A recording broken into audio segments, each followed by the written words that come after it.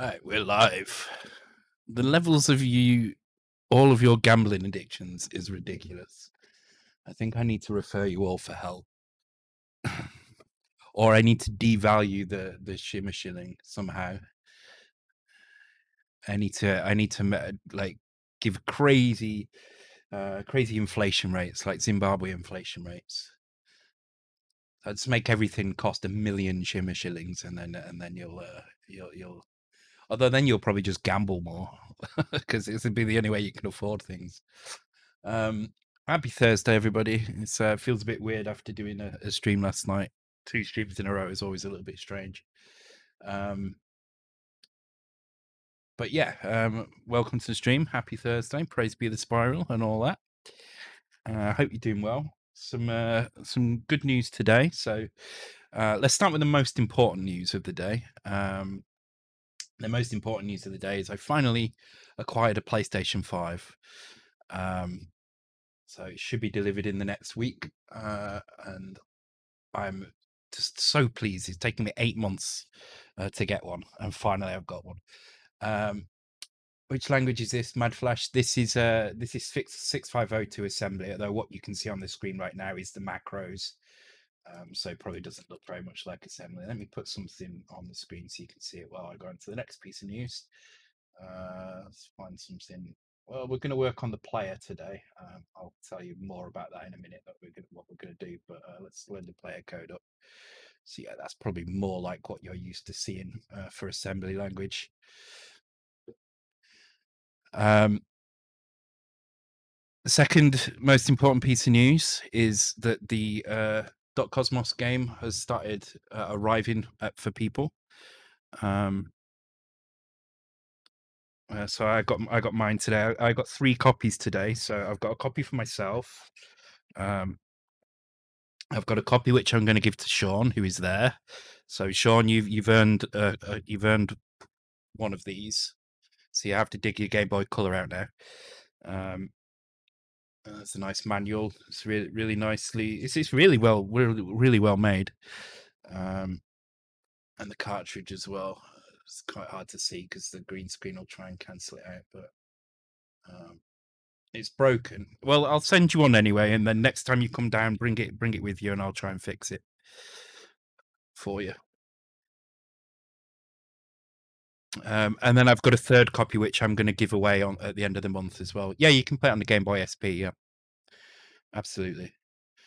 Um, third piece of news is Doc got the uh, the Nexys today, so he's he's set up with that now. Uh, helped him uh, get that up and running uh, this afternoon.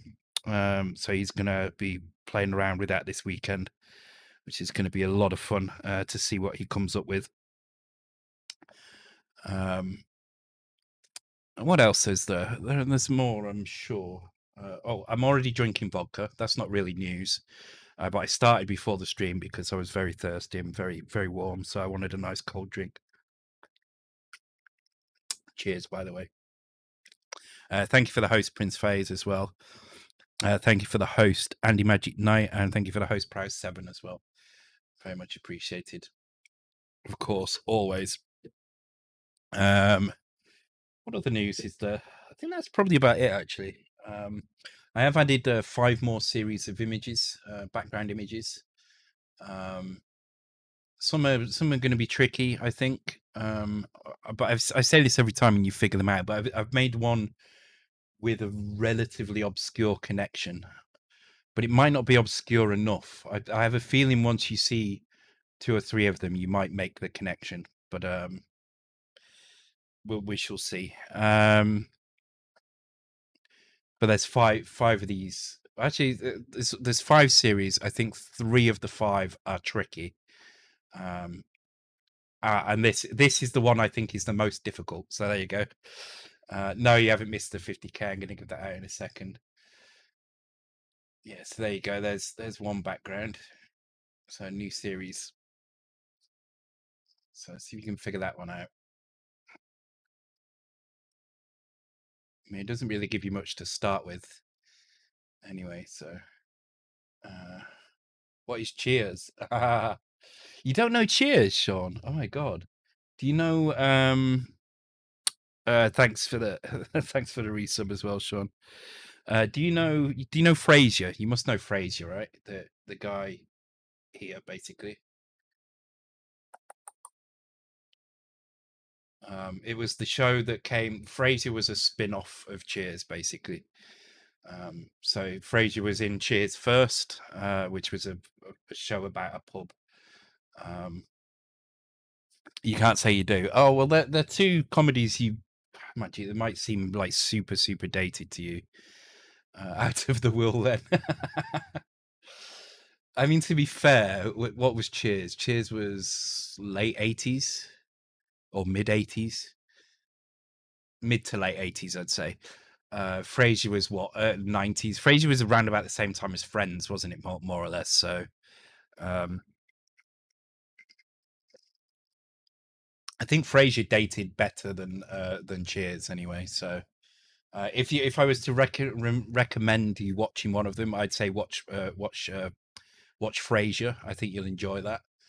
Um, but if you want to see more of that kind of um, universe, if you like, um, uh, isn't two points based in a pub? Two pints 1982 to 1993. Wow, it ran out longer than I thought. I feel like I've heard of Frasier, but can't say I've seen it. Yeah, yeah. So I was kind of right with the right, right with the areas. Yeah, times. Um, yeah, Frasier is is really good. I need to I need to watch more of more of that. I haven't seen it all, uh, but the episodes that I've watched, every episode I watch is amazing. So um, I have to watch that. Right, let me add points to you all. Enough of the uh, enough of the uh, background chat. Uh, so add some points to you all and start the races uh, and tell you a little bit about what we're going to do tonight. So um, obviously we're going to do C64 tonight, not Mega 65. Um, so tonight we're going to do Cecconoid as as we normally do on Thursdays now. Um, and I'm going to do the the player death routine.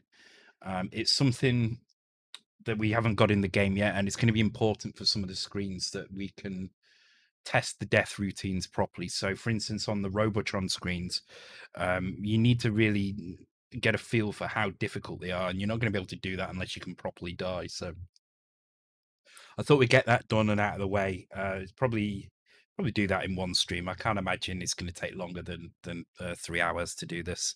So we'll we'll do that uh, tonight uh, and then on the next stream we can start working through screen by screen, uh, adding the stuff in. Um, what even is that? Oh, it's Deg the Slug. Um, but yeah, um, I'm I'm looking forward to um, I'm well the end of this month, as I say, I'm going to give away Dot Cosmos. So I'm going to give away a copy of this. I realize a lot of you have already bought this. Um, but if you know somebody who who wants it you can you know you can always play for it and gift it to gift it to somebody else uh, who hasn't got it that's absolutely fine uh, so that this will just be a standard giveaway so this will be the um the normal um shimmer shillings buy a ticket get get a draw for it um are we doing that on the same night that we do the will it be signed i can sign it yeah why not i'll sign it on the somewhere I'm not sure where I can sign it. I could probably sign it on the inside of the sleeve or something, or, or no, you'll, you'll probably sign quite well on the back. But yeah, I can I can sign it. Why not? Um, and I'll be doing that on the same night that I'd give give away the uh, eBay then winner. uh, the same the same night I give away the uh, the prize for the um, uh, for the Millfork challenge for this month. Um, the good news is next month we'll definitely be doing um oh hang on yeah sorry i thought i'd got to, i thought i'd got too many uh boards but i haven't um next month we'll definitely be doing a double um Nexys giveaway last night's uh bits were uh, ridiculous to say the least um pretty much paid for an entire board in, in one night's worth of bits um Signing John D. Rockefeller. Um, so it wasn't quite enough to buy one board, but with the with the um, with the rest of the mum's stuff as well, then we should definitely be able to buy two. So there'll be a double uh, a double giveaway for the next challenge, um, which I'm kind of pleased for because the next challenge should be a kind of tricky one and a little bit varied to what we've been doing so far. Um, and uh, depending on how well the rest of the month goes, and to be honest, so far it's going really, really, really well um, then there may be a Pi 400 giveaway as well. So next month will be a triple giveaway. So two two uh, Nexys giveaway, two Nexys uh, boards and a Pi 400 as well.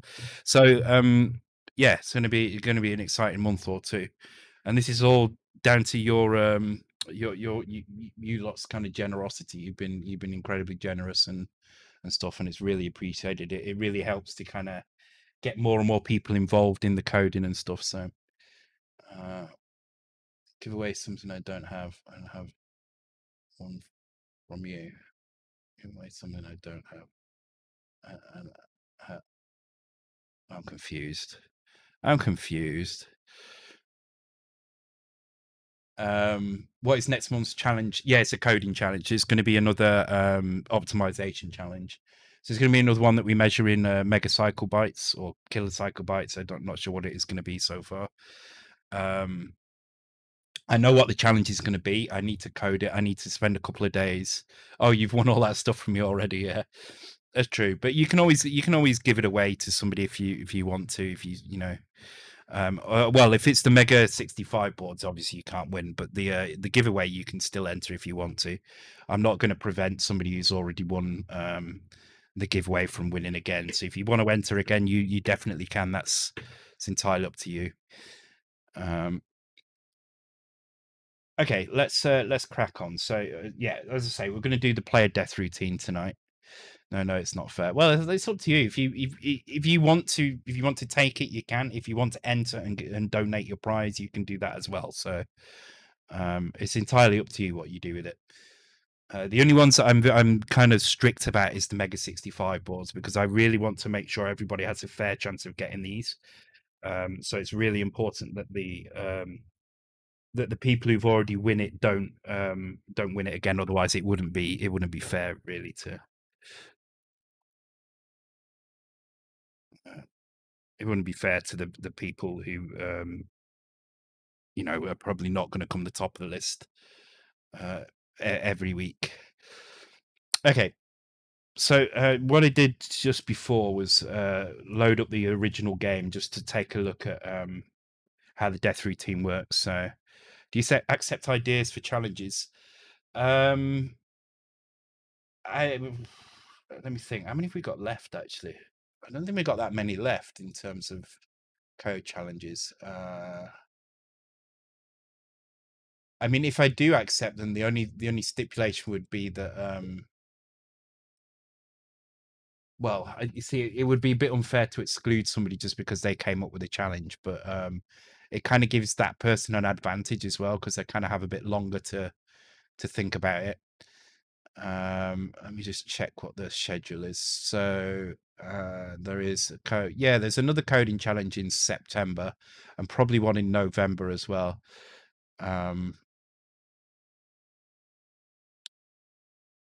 uh, but there's probably going to be there's probably going to be two things announced in September. So there'll be the optimization challenge, and then there'll be a slightly longer challenge as well. I think, uh, which will probably I'm not sure what it's going to be yet. I need to have some discussions about that with uh, the people involved in in that. But there there will be uh, something um, relatively exciting coming up. So.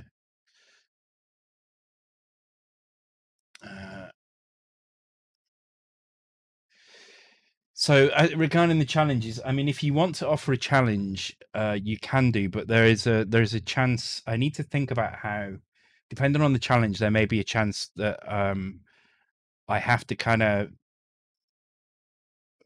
somehow penalize the person that's um, that's come up with a challenge. Because if you come up with an optimization challenge right the the optimization will will improve over time. So if you spend long enough looking at a piece of code if you spend a year looking at the spiral challenge you'd have probably come up with something that that came into first place right?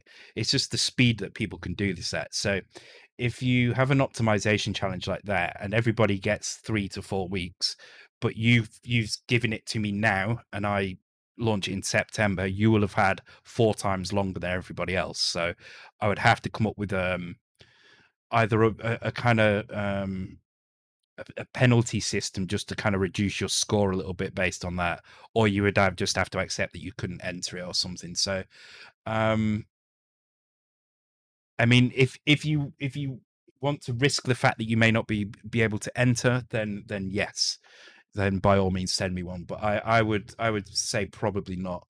Um, however, saying that, if you have already entered and won uh, a Mega 65, so if you've entered a game competition or you've entered a, a, an optimization competition and you do have an idea, then by all means send it to me because you can't win anyway. So um, in that case, by all means, send me send me your idea.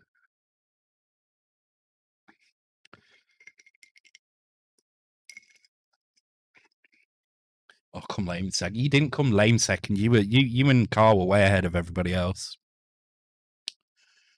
Um, but if you want to be pedantic about it, you came third because I came second.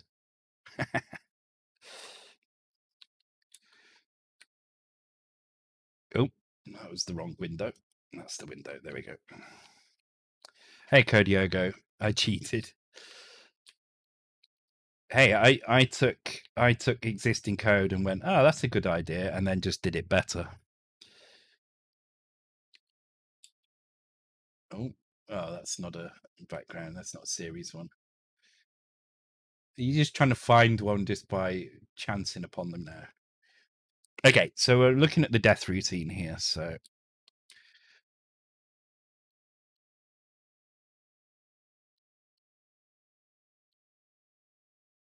Okay, so what happens when? Well, first of all, one thing I noticed is that the particles move probably twice as quick as they actually are doing uh, at the moment. So the the exhaust particles.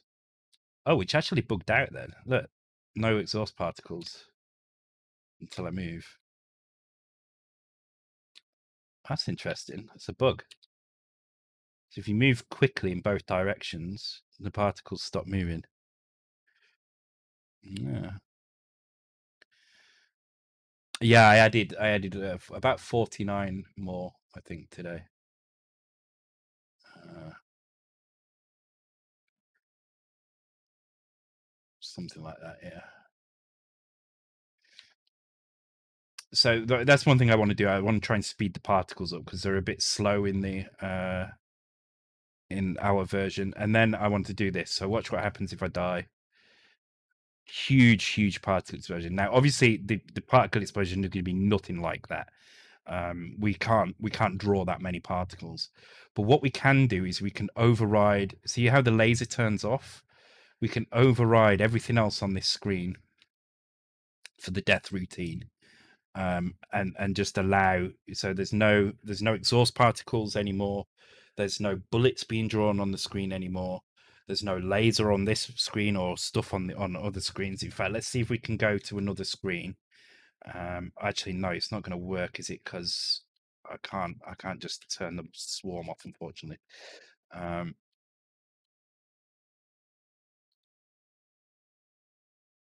let's go and turn the laser on up here, the screen over here, anyway.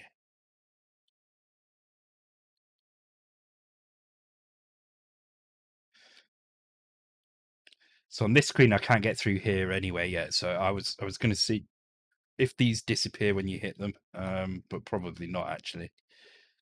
Um, but these, let's get hit by one of these. Okay. Oh, and you drop your power up as well. So that's the other thing we need to do is we need to drop some power ups. So uh, let's let's take a look at that then. So let's start with the uh, the exhaust particles. Let's try and speed them up a bit. So they are down here, exhaust. Uh, and here is our um, delta X, delta Y. Okay, so I just let's play a fine X. Oops.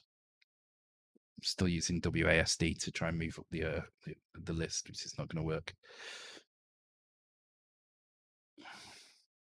So we kind of need to double uh, this this particle effect here. Um, I'm just trying to see if there's anything else in here which. No, okay, so there doesn't seem to be anything that would cause problems if I doubled it, but this can be a negative value as well. So I need to figure out where that's been been written to and calculated. Ah, okay, it's it's done in here. So if I was to put two in here, uh, actually this is going to be one. Two, so yeah, let's do two in there and, and D in here, and let's just see how that looks.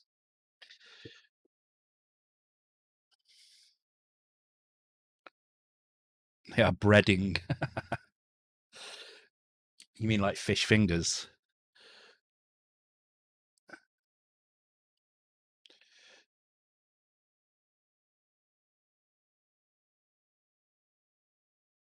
Okay, that's a little bit better, a little bit faster. I think they need to drop down a bit faster though now. Uh, thank you very much for the uh, for the resub Hot Wheel Flash. Uh, thank you very much, very much appreciated. Uh,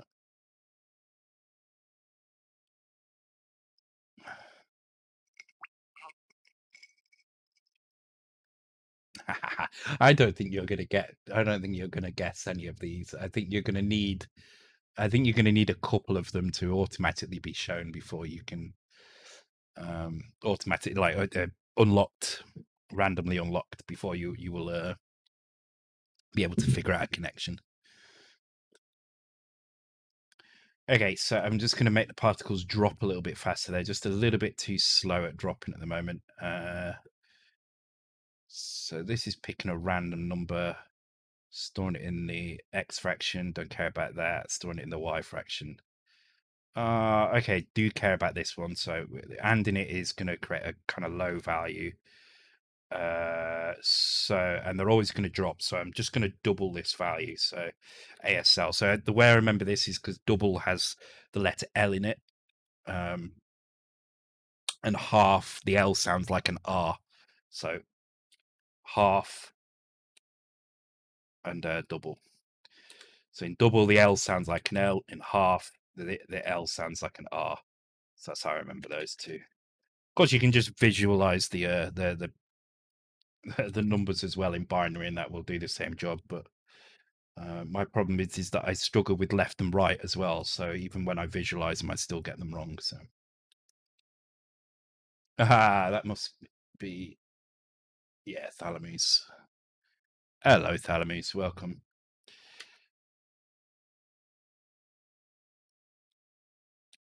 Oh god, I've pressed the? Uh, what am I pressing? Yeah, I keep pressing the wrong button.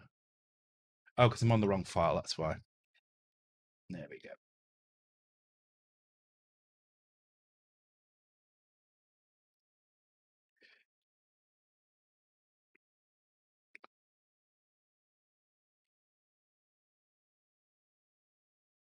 Still not fall. I want it to fall a bit faster than it is doing. Let's double it again then. Because it's a y fractional and this. Yeah, all right, let's, let's double it again. It's a small thing, but I really do want to. Um... Yeah, the Steve Rowlands bass line. Yeah, I, I, that's what I ro- always hear. I hear the bass line and I think, oh, that's the Steve Rowlands bass line. And then the next connection is that's Thalamus. Um, although someone tricked me the other day by playing uh, by playing one, and I, I I assumed you were there, but you weren't and I was sad. I was. I was. Okay, that's a bit better. They're they're dropping a bit faster now. There we go, and it is moving a bit faster. So that, that was one thing I noticed when I when I put this version on that they're moving very very fast indeed in here. Obviously, I can't make them move this fast because that would mean having many more in the stream, and I can't add that many to the stream. So Oh. Good guess. Good guess indeed. Not part of a series, but good guess.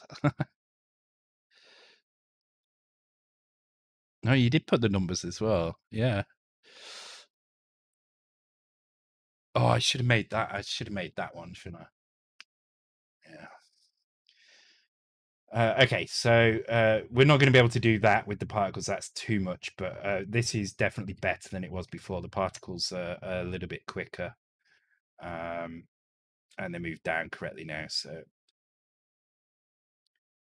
okay, so what I want to do then is now make it so we can die. So let's find somewhere where we could die, and we'll start on that screen.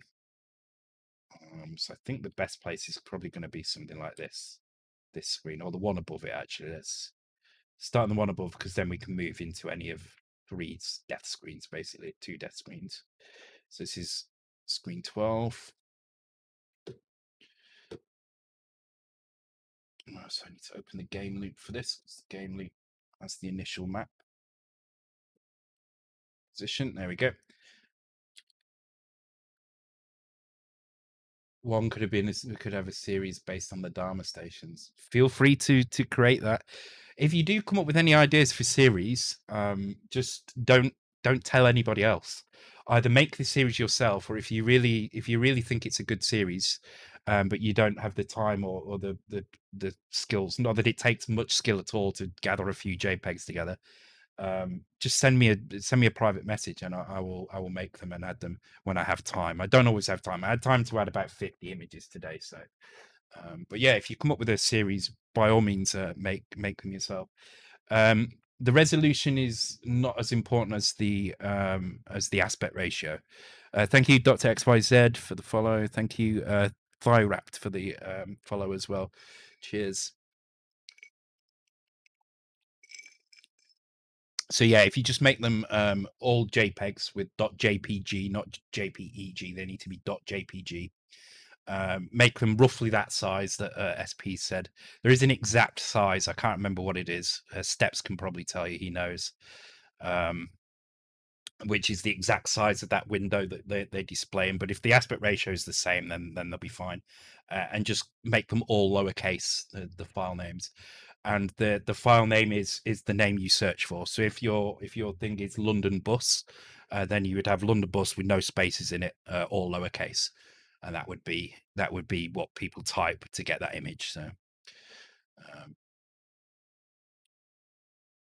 uh, I couldn't, I couldn't, I can't remember the exact size, but yeah, around about that size is is fine. SP uh, 14 40 by 900 i think is about right yeah but Stepz will can tell you the exact value if, he, if he's if he's there. I don't know if he's there though actually.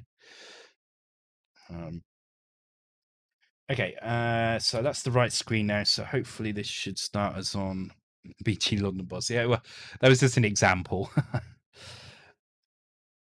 Um also if the words if the if the name starts with the or a um you know like uh the London Eye, uh, then just call it London Eye because the the algorithm will take the the out of it anyway. So so people can still search for the London Eye, but they will get London Eye. So just the word the or the word ah uh, can be removed from the beginning, just the beginning.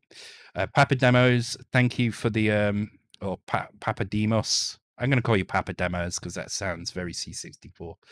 Um, thank you for the uh, for the subscription. Welcome to the stream. Oh, the vodka's extra tasty tonight. I like it. Um, okay, uh, what was doing? Oh yeah, let's compile this quickly, and then we'll go. What we're going to do? Um, I've already got one place where I know Papademos and pliers. oh wow, that's an early '90s reference. I like that. See, there's a good there's a good series uh, pop singers with the names of tools or pop groups that contain the names of tools. Can't be many of them. Yeah, aging me as well, uh, as well.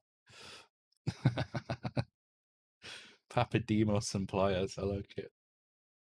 It was uh, Chaka Demus, wasn't it? Chaka Demus and pliers. Okay, so when we hit these, they should, yeah, so they should flash the border white. So that means we're, we're being hit at this point.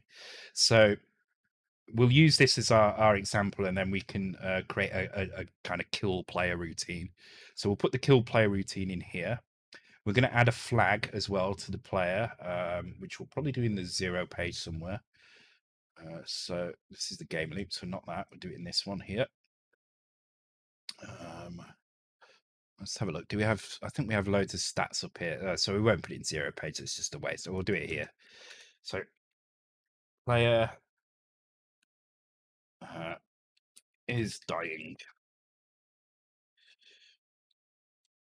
Uh, this is just going to be a, a, single byte. It's either going to be zero or one. I mean, it could be done in one bit really, but we're going to use a whole byte to do it. It's fine.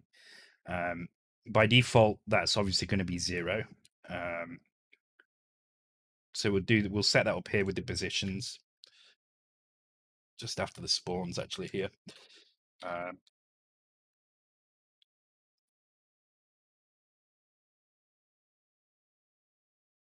and the reason we need that flag is because we need to know um, which uh, which pieces of kind of animation do we need to run for instance, if we're dying, then the, we don't want to draw the laser. So the laser will have a check in which says, "Is the player dying?" Then don't draw the laser. Don't bother. Um, the the particle system will have a thing in which says, "Is the player dying?" Okay, then don't draw the exhaust particles. That sort of thing. Been sneaking in and out and watching you from time to time, Shane. It's always a treat. Oh, good. I'm glad glad you enjoy it. Um, DIY bands we can elucidate sparks. 80, 1890s pop groups.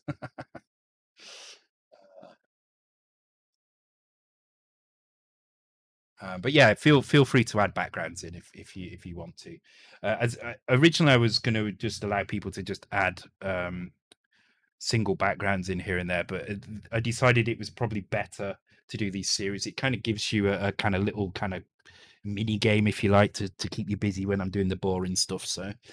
Um, and I, it also means those who submit the backgrounds can kind of have the enjoyment of watching people try and figure those out as well killer lute solo. oh man. Killer lute solo and the harpsichord. Harpsichord solo. Yeah, to be fair, I can't say anything. Uh, my my favorite band, Nightwish, plays um, mandolins and uh, Uilleann pipes and stuff. So, you know, yes, they have electric guitars. Yes, they have keyboard, but they also have a guy who plays a mandolin. For God's sake, um, sounds amazing, but but yeah, he plays a mandolin. He plays a mandolin. He plays the uh, recorder, giant recorder. Uh, I don't know what they call them. Um, uh, thank you, uh, Gnunix tier for the follow. Uh, appreciate it. Um, welcome to the stream. Hope you're doing okay. Uh, a person deleting. Yeah, he, one of the one of the instruments he plays is a giant recorder. I don't know what it's called. It's probably not called a recorder, but that's essentially what it is. It's just a massive recorder. Uh, it's probably about probably about two two foot long, two or three foot long. It's quite big. Uh, and he plays Uilleann pipes as well, which is kind of like bagpipes, but instead of blowing into the into the bag to inflate it, it's kind of like it uses bellows, which are connected to his his arms. Um, it's the same instrument that's used in World of Warcraft in many, many of the uh, the musical pieces, um, especially in um, oh crap, what is it called now? Uh, it's uh, one of the one of the zones. I think is it Howling Fjords in in um, in Northrend. Uh, use that use that Uilleann pipe, um, and it's a very haunting kind of sound. It's a very nice sound, uh, but he plays them a lot as well it's got a very folksy vibe to to that band. So, right, okay.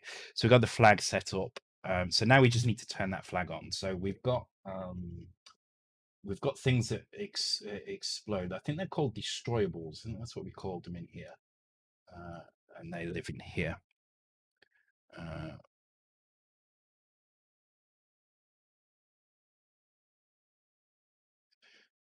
gentle giant has some. Oh, I'll have to. Uh, I'll have to make a record of that because I do like these. Uh... Oh wow, they're old as well.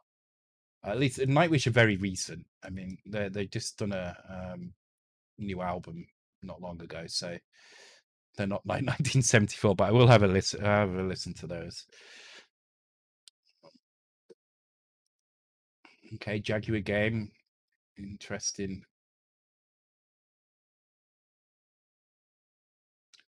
Jaguar games are probably the easiest ones to just guess because there aren't many games. So you can just look at a list of screenshots and kind of figure out what they what they are. You could probably fit all the screenshots for for all the games on the Jaguar on one screen quite easily. and the chances are it's these screenshots as well. okay, so what I'm looking for is a border increment in here. Um,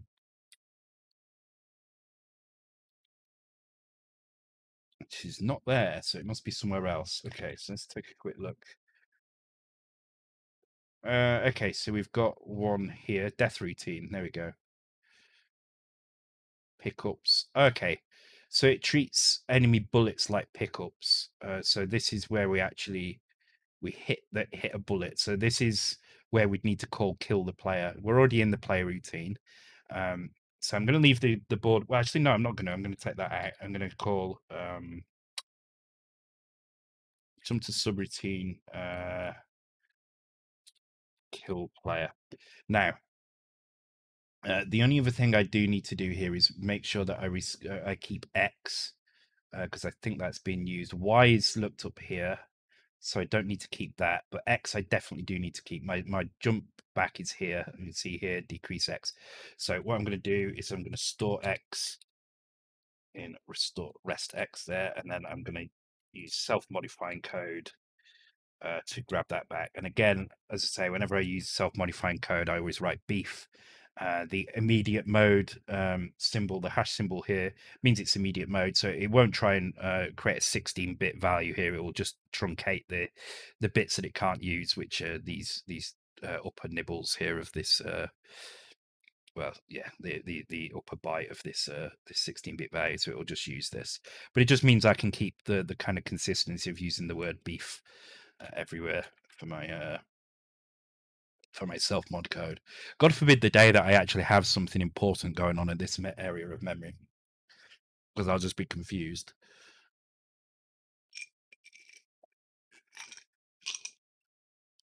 Okay. Samsara, wasn't?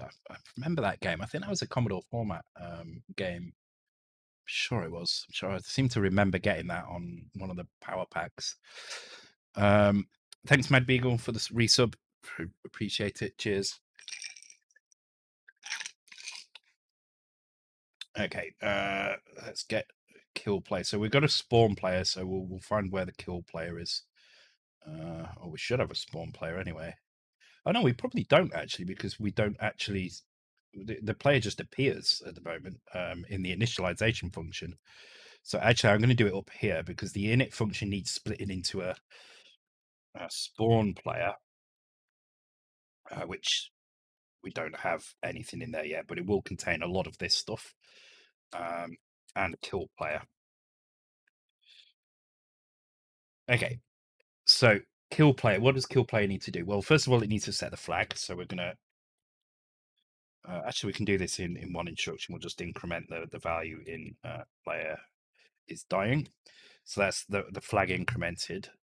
Um, we can then use that flag to turn certain things off. So uh, one of the things we need to turn off is the controls, because obviously if you if you're dying, you can't move around, right? So the controls would stop at that point. Uh, the number of lives you have would decrease by one, um, which I think we should have. Oh, we don't have it in here. It's, it's I don't tell me we don't have a live counter. I think we have lives, but I don't think they do anything yet. Update score. Yeah, they don't. Okay, cool.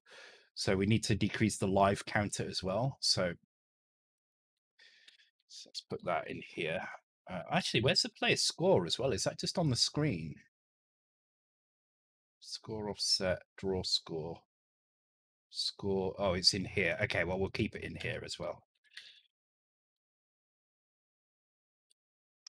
Uh, now, the life counter, I believe, uses two digits. No, it uses one. Okay, so that's good. So just do that. And what we need to do is we need to store that value in there in the initialization. So in the initialization, uh, we need to set the initial lives. So I think the initial lives is three.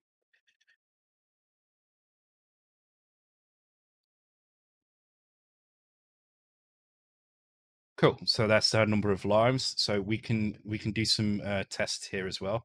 So one thing I did notice is when you die for the last time. So let's go down here. So there's big explosion. When you die for the last time, it cuts straight away to the end. So we can do that straight away here. So what we can say is we can do uh, decrease HUD dot lives. Actually, uh, does that set the flag? Does decrease set them? I need to check that. I can't remember if decrease sets the negative flag. I think it probably does. It makes sense for it to do so as soon as it sets the zero flag. You see, this is the problem with doing Z80. I, I doubt myself now. Uh, it does set the negative flag. Okay, good. Particles don't stop on walls. Yeah, no, they don't. Um, the the the one thing we've had to do is make some. Um, uh, it does just not carry. Yeah. Uh, one thing we've had to do is uh, make some um, compromises because of the way the particle system works, in that it is basically um, filling in blank space with uh, special characters, like a, a, buffer of of data. Um, we can't do that when there is background there. So the uh, forget, yeah. Uh, so so the problem is um, we we have to kill the particles when they hit stuff Otherwise, what we end up with is um, it, it kind of drawing, it trying to draw on top of it, and it would actually just replace it, and it, it just it simply wouldn't work. So, um, or at least it wouldn't work in a way that would be performant. So, so we have to uh, we have to kill that, unfortunately. Uh, when when it hits the wall, which is a bit of a shame, but um, it's a minor minor thing. What I've tried to do is keep the feel of the game as close as possible to the original without compromising too much. And when I have compromised, it, it's usually things that don't really have an effect, direct effect on the gameplay, um, and only a minor effect on on the look and feel of the game. Um, so, for instance, uh, when when the death routine happens in here, um, the particles bounce off all the walls and stuff. Now, while I could make the particles bounce off things, it's not going to add an awful lot. So, um, surely the death has yeah death has a massive effect on the gameplay. So like having all those particles there's not going to be anywhere near that number of particles uh, and there's also not they're not not going to bounce off everything as well. What they will do is it it will kind of explode like a firework and, and just disappear when it hits the walls basically. Um, as for the number of particles uh, i need to we need to do some experiments in a minute with that but i'm hoping we can get the particle count relatively high um, even if the particles flicker. Um, uh, we will sh- we shall see what happens. But I, I, think the particle limit's quite low anyway. Um, uh, where is it in my constants? Isn't it? Uh, to, to max particles. 32. Why is it 32? Okay, I thought there was more than that. Well, I'll try. I, I might have been messing around with the uh with the uh multiplexer. So I am gonna I'm gonna up it to 64 and see what happens. Let's give that a quick try actually now.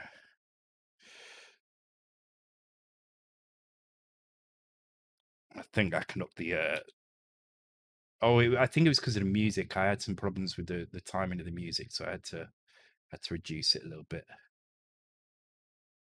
Okay, it doesn't seem to be having any effect on it anyway, so I mean obviously it's down here where it matters when these things explode, but yeah, seems to be seems to be fine. Okay, so 64 particles is is is probably going to be enough. Um, okay, let's uh,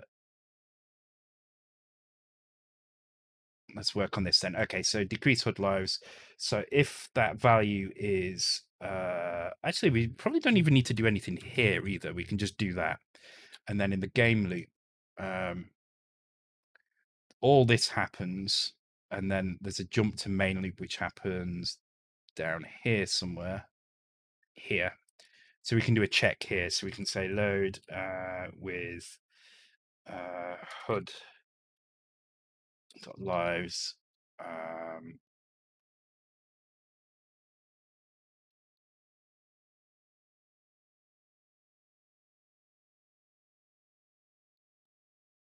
can have the game over here. And basically all I'll do with the game over is I will just reload the, the intro again for now, and then we can change that later. So uh, how would I go about loading the intro? Let me have a look.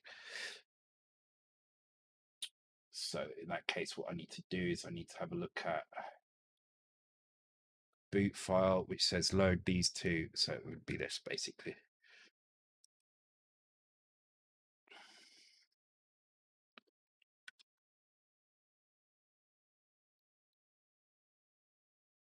Okay, so we're going to start with three lives. So let's just quickly lose those lives and see if this works. And then if that works, we can we'll start working on actually doing the death routine itself.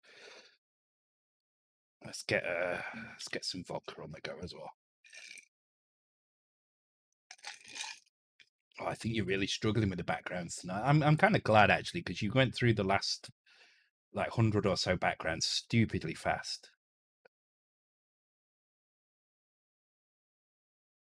Okay, so that's probably two lives because there's no reset. It's just removing lives, and I've not updated the HUD, so I need to do that in a minute. Oh shit!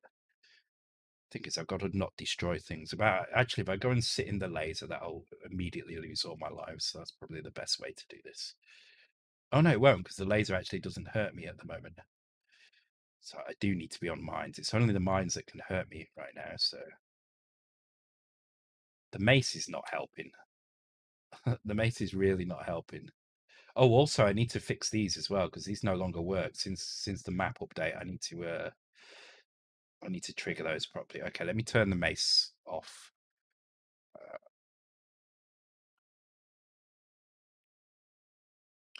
uh, let's do a, a, HUD update while we're at it as well. So. Uh,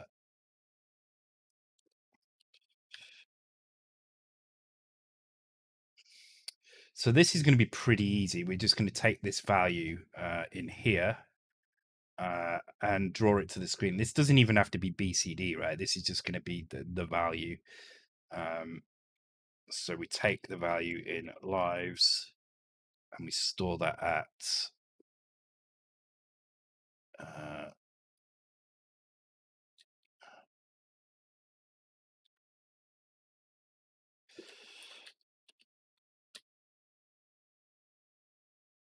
It's that simple actually. There's not there's not a lot to this. It's not like we have to draw that entire entire um, string of di- uh, digits out. Um, we just need to do this.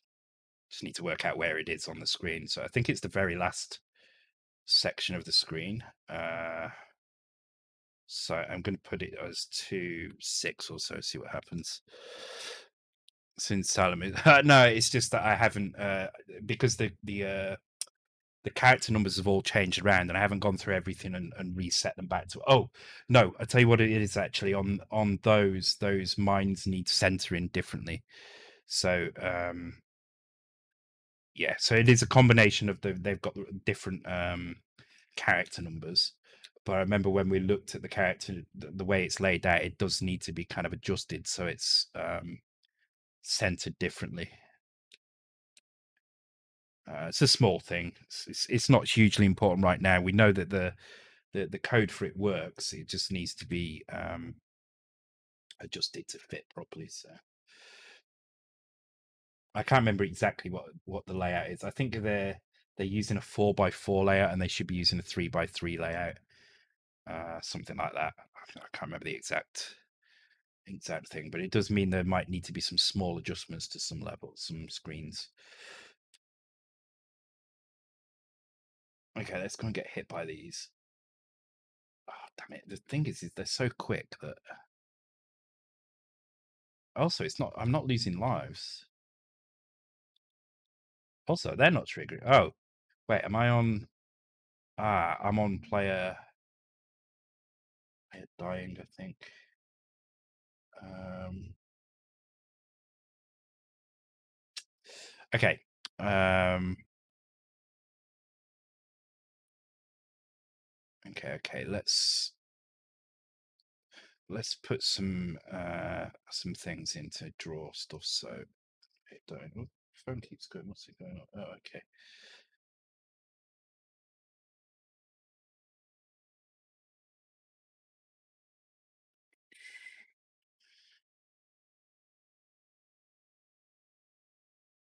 Uh, don't fix them. Have an updated file to see. Yeah, I'm, I'm not going to touch them yet.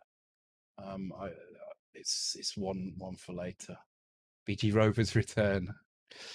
Okay. Hey, the only thing I will tell you, you're way off. You're way off. But that's all I'm telling you. Right, let's get some vodka on the go. This is my favorite vodka now. I didn't think you could have a favorite, but this is this is actually really really nice. I thought all vodka was made equal, more or less. Apparently not, though.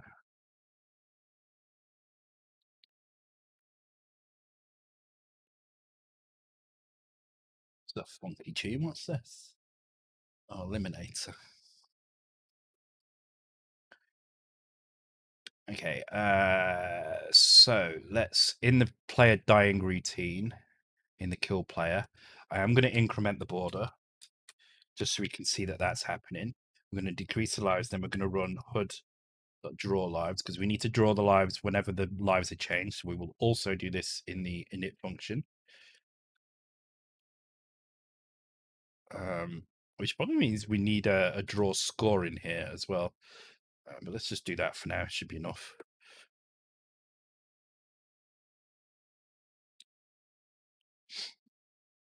I will play a little bit of uh, Resident Evil as well tonight. I did have a sneak peek at a map. Um, I didn't really look for much. I was just trying to find out where the mansion key was used. And the interesting thing was the mansion key was nowhere to be found on it. Um, but what I did find out was that uh, mansion key is the generic term for all keys that are um, uh, the ge- generic term for all the keys that are like helmet keys, shield key. So I think I just need to examine that mansion key to to find out what kind of key it is. I think that's the the problem there. Uh, being from oh, so yeah, so I'm drinking Absolut um, uh, raspberry vodka, which is incredibly nice.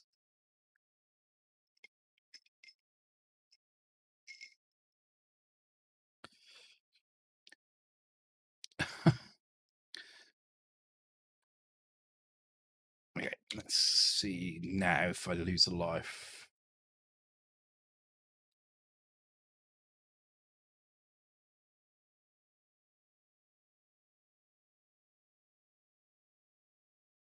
Okay, so it is drawing something, but it's drawing it in the wrong place. It's drawing it here, and it's drawing the wrong character. So we need to fix that uh, and move it over here. But I'm also I'm not dying at all, so let's see if I can die if I Okay, they're oh shit, they're not going to kill me either because there's no radial explosion from from these. So damn it, I need to make more things deadly. There's not enough deadly things at the moment. That's the problem. Or I could just give myself one life, couldn't I? That or zero lives. That would be a lot easier than doing what I'm doing right now. Because these aren't triggering either. I don't know why they're not triggering.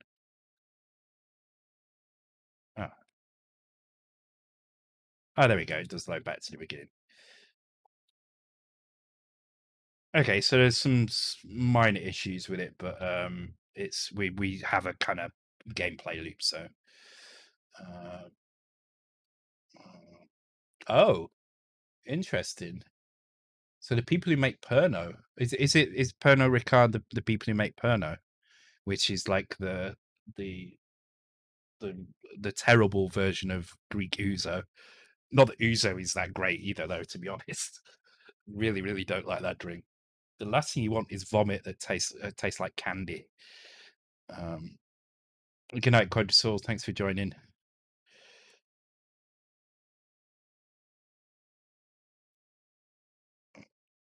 And let's let's be honest, that's exactly what that stuff uh, makes it taste like. So, um, it also increases the chances that you are going to vomit because it's horrible. Okay, so draw the live. So we need to take the live counter. We do need to add a value to it. The value that we need to add is doesn't actually say. What's what's our what's our add value? What's the oh base number char? What's that? Well, that's the number we need to add anyway. And that needs to be back one. There we go. Right. Uh, let's give myself extra life so I can see what, what's going on. Hey, Jamie, welcome. Hope you're doing well. Oh, there we go. There we go. Interesting. Wait. SP? How did you guess that? What the hell? How on earth did you guess that? Do you know what the connection is?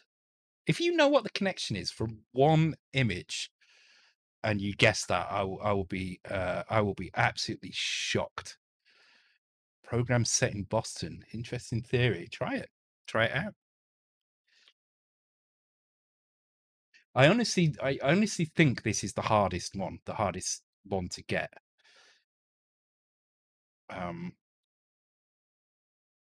and I, I worry, I worry at your ability to work these things out as well. I, I am starting to think you are somehow connected to my uh, my code base somehow.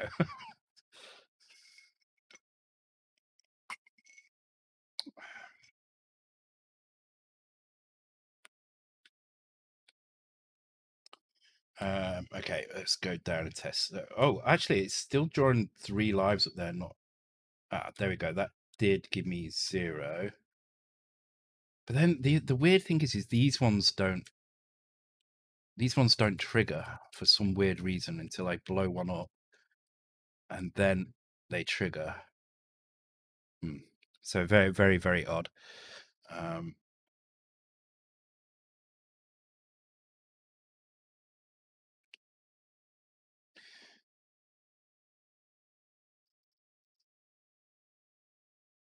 also, there, there's obviously some screen shake stuff which is destroyed the, the bottom of the screen, so I need to reset some stuff on here. But um, let's let's work through the bugs here. So first of all, it looks like the lives counter is not drawing properly for some weird reason. So when you first come in, um, it sets the lives to one, but I think something else is overriding it. So I think there is a HUD init somewhere, uh, which is yes, it's here. See, um, so I think init has to happen before player init. So that'll be in the game loop. So up here, uh, there is a init. Yes, and indeed it happens after player init. Okay, so that's that. Now let's sort the title screen uh, shake bug out. So that's basically D011 and D016 that need resetting. Uh, that is in uh, bootloader title screen. Here we go. So we can just do that in here in the start. So um, is there a D011? There is a D011. It's set here, start game. It's in the start game now, so we won't do that there.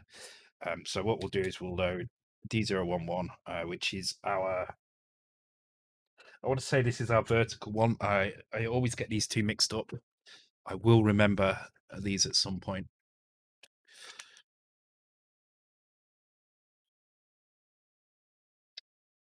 Interesting.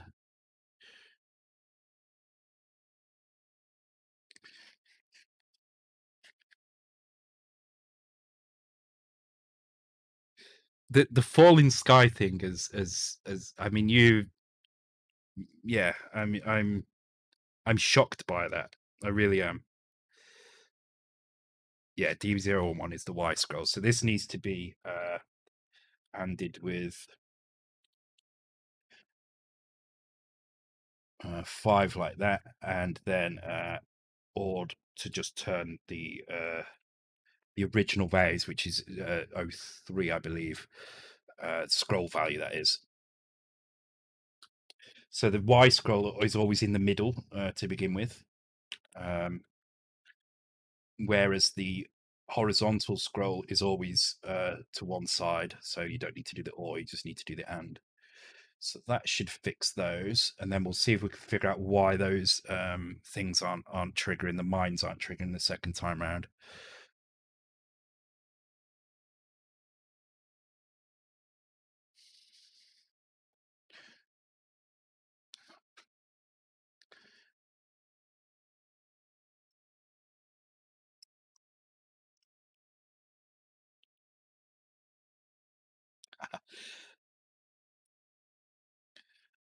I think SP is hidden in my room somewhere, or he's got access. He's got like remote access to my computer. It's kind of crazy the the uh the accuracy of some of his guesses.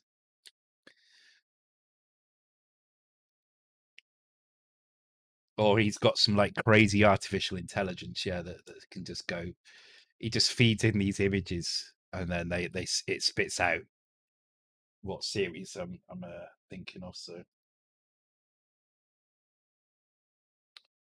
uh, oh shit, I missed that, didn't I? So if I've not been hit, does that mean these ones will now trigger? No, they don't. That's really weird why they don't trigger, even when I go off the screen. So there's a there's some kind of inherent bug here. So um, they also didn't make me lose anything. So uh, so is there any there aren't any more that have those. I don't think I've got any more set up. Um, yeah, I don't have any more set up. Ah, there's a laser in here as well. So we need to do another laser on this screen. but it should be a short laser. It's from here down to here, so it should be a little bit shorter, which should be a bit easier. But I think it's probably going to have to be specific for each screen in this case. Um,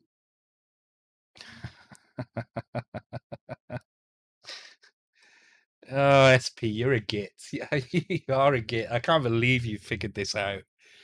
You figured it out from one image. One image. You had Cheers, and you went, "Oh." Do, do you know the thing is as well? Cheers was the first, the first one that I I thought of. Right, I was I thought, okay, I'm going to use Cheers, and then I thought, oh, maybe uh, maybe I can think of shows that are set in Chicago because for some reason I thought it was Chicago. Um, and then I looked to know it's Boston, so I, I went with that. And the thing is, is that I thought I thought that was the easy one to know, and you managed to got to get that, yeah, yeah. So yeah, I mean, I made it. Yeah, you you you've you've guessed it exactly right, which is absolutely crazy if you ask me.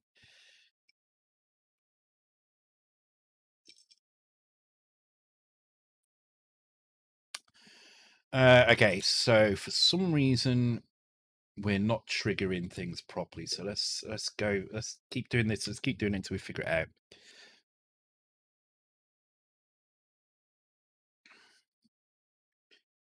Oops, why is my my phone keeps going mental?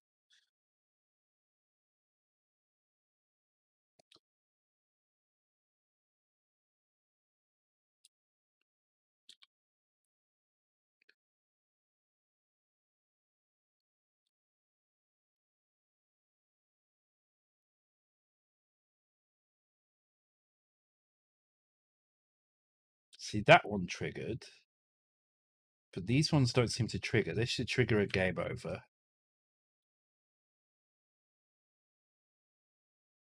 It does. Uh, It does a bit of a weird glitch as it goes to the screen, but it does actually jump to the screen.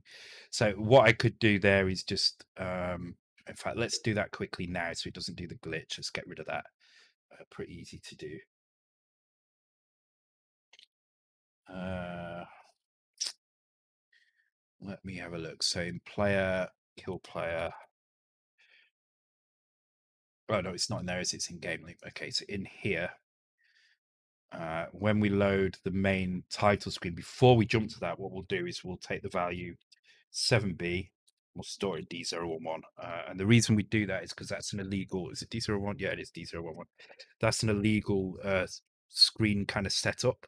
So what this will do is instead of instead of displaying uh, a screen, it will just display border, uh, effectively turning the screen off immediately, uh, which will prevent us seeing any glitch that happens. Uh, I just need to confirm this. I'm pretty sure it's D011. Du- du- du.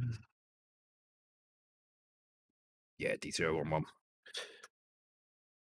Now the thing is, is we need to need to make sure on the title screen that that gets turned on correctly, uh, and it it doesn't quite get turned on correctly because we're doing this and, uh, so we're leaving some of these upper bits as they are.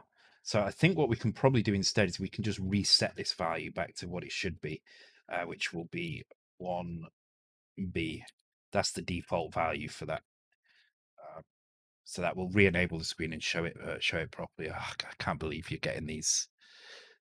I can't believe you're getting these. I tried to find the, the the dancing baby, but I couldn't find a good good enough picture of it. Um, I was hoping, I was really, really hoping when you put Fringe in, and you put um, what was the other one you did? Fringe and uh, Being Human. I was I was hoping that would throw you off the scent because you discovered it so easily. Uh, but it didn't because you went with Boston freaking legal. The, the the only one with the bloody town with the city in the title. God damn it!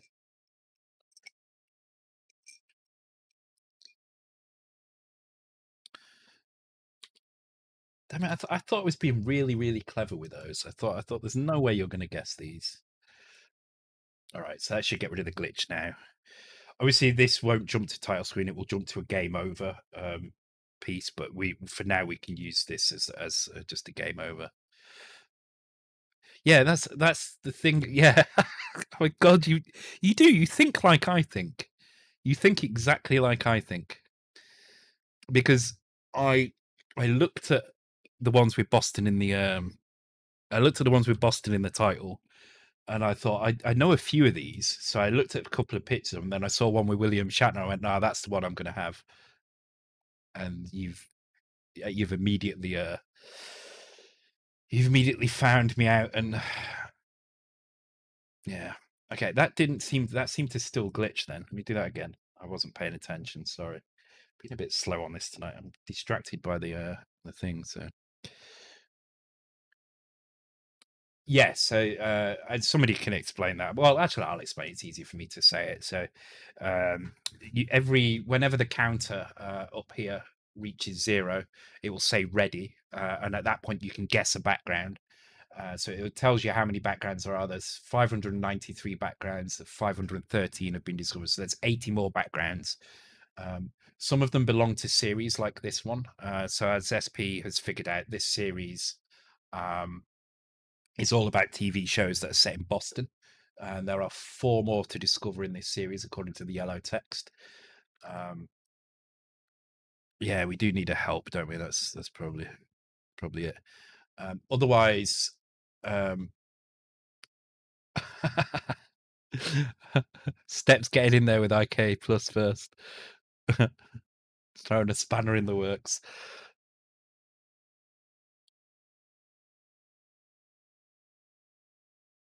Um, otherwise, you can just kind of guess. You can also use your channel points to um, have the bot randomly pick one that's not been discovered yet, which is how people are discovering the series. Okay, that does still glitch towards the end. Then I'm not sure why.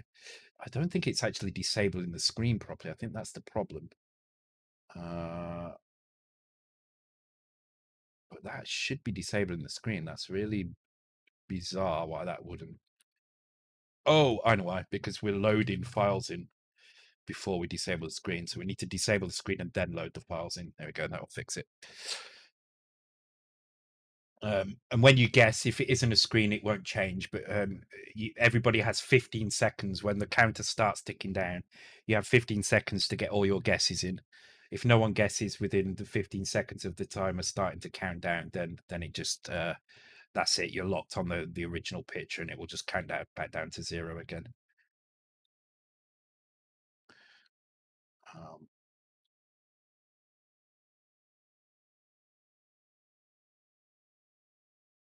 uh, oh, almost. What's that doing there? It looks like that's.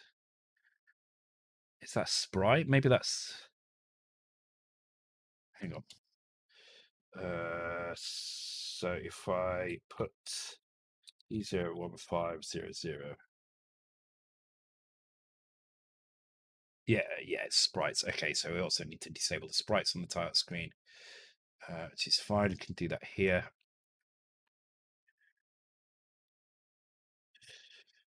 Okay, cool. All right, I'm not going to restart the game now. Let's just go back in. We should just be able to go back in and start where we left off. Should be working pretty good. Everything's reset. Awesome. Um, okay, cool. Let's move down to here uh, and have a think about the actual death routine. So at the moment, it's just making the border change color. What we need it to do is if the death routine happens, we need it to clear everything that's going on on the screen at that point. So if we if we come down to um, Shit, can I do it on this screen? I'm not sure. Let's go and have a look. Okay, so if I was to... Oh, shit, I died straight away. Damn it.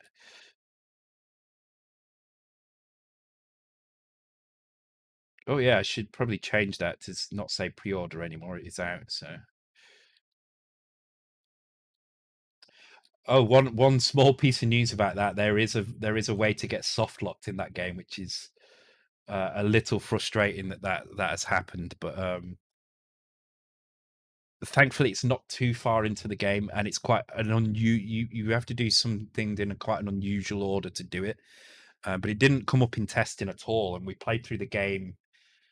Oh god, I don't know how many times, but we played through it a lot, and I played through it on stream as well and it never showed up. Um, so it is it is an un- and I can see how it's a difficult thing to get to happen. Not a difficult, but an unusual thing to get. It's very easy to make it happen, um, but you wouldn't in normal gameplay you wouldn't normally end up in that situation. Um, so it is a little bit frustrating, but um, yeah.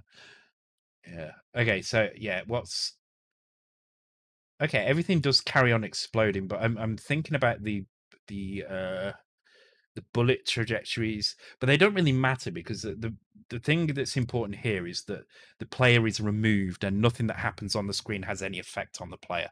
So what we're going to do is we're going to um, turn the is dying um, flag on, which we have got on, and then we're going to go and make sure that that um, actually here we can do it with the with the kill player. So we'll do our first check will be here, uh, where we say is uh,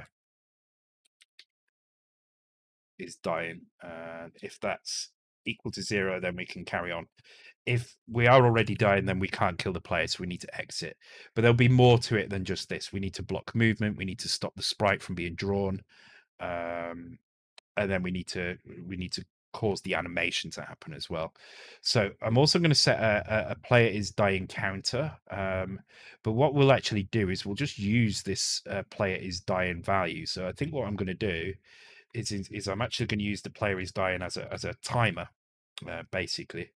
Uh, so I'm going to set this to let's say to 80. Well, let's say to FF and store it here. So now what I'm doing is I'm using this value as a as a counter. Uh, so if the player is dying, this is going to run. This piece of code is going to run um, here. And the job of this is going to be to uh, to count this value down. So so obviously when this value runs out, then we're no longer we're no longer dying, and and then we can um, things can be active again. So what we need to do is we need to go and add this into the game loop, and we need to make sure that the game loop does does certain things um, only if we're we're we're dying. Now we can actually do it just by calling um, it here.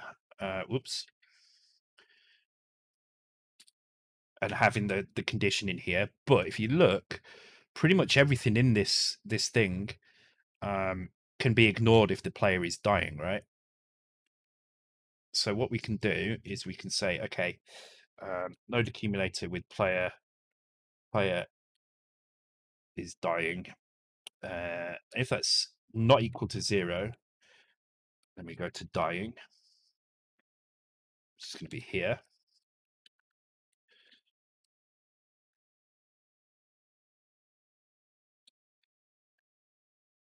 Otherwise, we're going to do all of this, and then we're going to jump to uh, stop browser. I'm on the wrong instruction set. Done player. Uh, player player dot dying. So now what should happen is if we hit the um, if we hit the mine, we should lose control of the ship. It should just stop moving. The exhaust should stop happening. Um, the mace should stop updating and all the all the controls should should stop uh, responding and that should happen for about five seconds and then we should regain control again so that that's going to simulate our kind of respawn for now anyway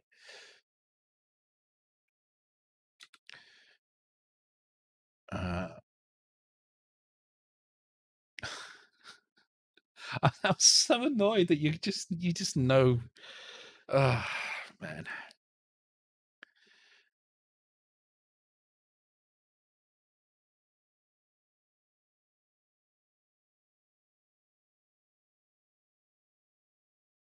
Yeah. You missed you missed SP, uh, Sean, guessing the the series. Um guessing the series from one picture. So he get he guessed correctly that the um uh that the uh blah, blah, blah, that the series was about TV shows set in Boston from one picture. Um and then he guessed he guessed some fairly well it's not that obscure but he guessed a a, a, a, program that was there. I'm starting to think he actually is hiding in my room. There you go so i can't control now. Then five seconds later i get control again. So perfect. So that's kind of doing what we want. Now instead of just losing control what will happen is this routine will also do some other stuff. So it's, it's going to hide the sprite for instance. Um, uh, and so on. But also at the very end of it, it will check if we need to respawn as well. Um, so let's go ahead and, and, and do these things in here. So uh, we decrease the player is dying. That that obviously has to happen. We can do this at the very end though. So we'll do this here. Um, and what we need to do is when that value hits zero. So if it's not zero, we jump to here. But if it is does hit zero, then we can just jump to spawn player because now what we need to do is instead of um, exiting this function, we can jump into this one and do our player spawn routine in here.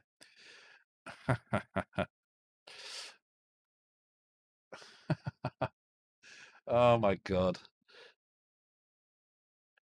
Uh, which other ones have you tried that didn't? Because I'm I'm concerned that I'm concerned that one of them um, maybe should have been. Oh shit! I keep doing that.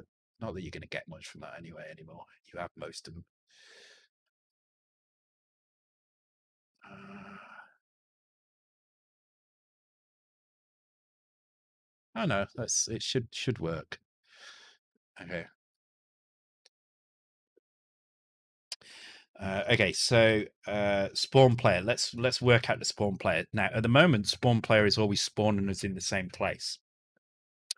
Uh, it's, it's spawning us in this spawn x spawn y. That is, well, we can kind of do that for now, but it is going to need to change. So what I'm going to do is I'm going to move this code. Uh, all of that code like that including the sprite pointers as well, actually. Um, and I'm going to put this in the spawn player. So I'm going to call spawn. No, let's miss the piece off at the bottom. So this bit as well. So obviously we need to turn the is dying off. Um, spawn player. Uh, and that can go in here. Now that what that means is when we die, we'll respawn uh, where we originally spawned. Position on the screen on the screen that we spawned on. We need to make it so when we change screens, that becomes our new spawn point.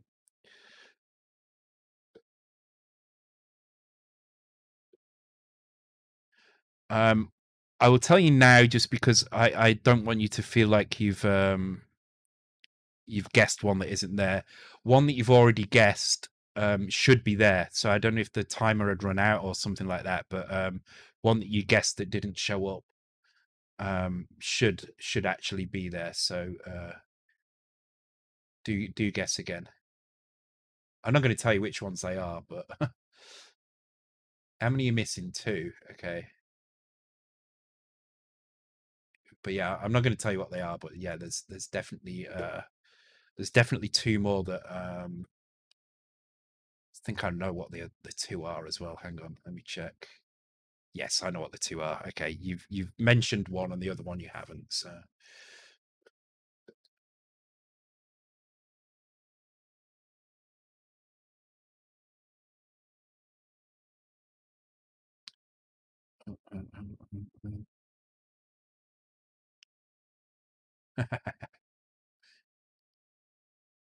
Oh, did that? I swear the timer did something weird then. Was a bit odd. Okay. Uh, okay. So spawn player is going to make the player appear at this location. So, well, you'll see what will happen when I do this. Um, so it's gonna it's gonna start out okay. The player is not going to disappear. So let's make the player disappear here. So in that case, what we can do is we can just take um, our player position and we can just move it like off screen somewhere. So the easiest way to do that is going to be with our Y position here. Um, so we're just going to go hide player. Uh, it really doesn't matter where the player is because not nothing's going to have any effect on the player, um, and the player isn't going to exhaust any uh, expel any exhaust particles. Uh, but we do just need to make sure that it's um, off screen so it doesn't get shown. So we move it to FF, and that actually has the effect of not um, not sorting it in the multiplexer as well. So um, so actually saves a little bit of performance there as well.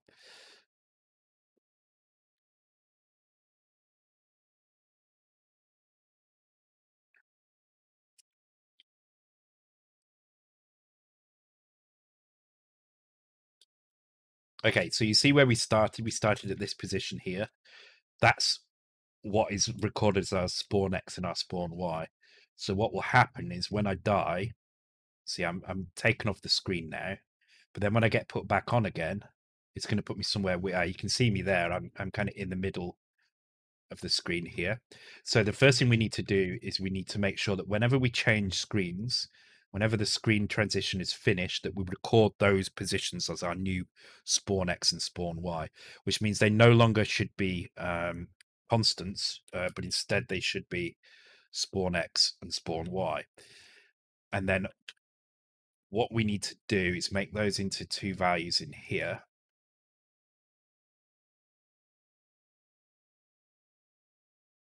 Um, actually, that needs to be a bigger value, doesn't it? Spawn X, spawn Y. So this actually needs to be a word. And then we need to take these values and store them in here in the init function. So before because when the player starts so when the game starts this is the initial location. So we do need to take our initial spawn x but then we need to store it at this location which uh, is because it's a word it means we also need to um, uh, take this value store it in here as well Okay, and we need to do the same with the Y. So this is given as an initial uh, spawn point. So let's put a little thing in here.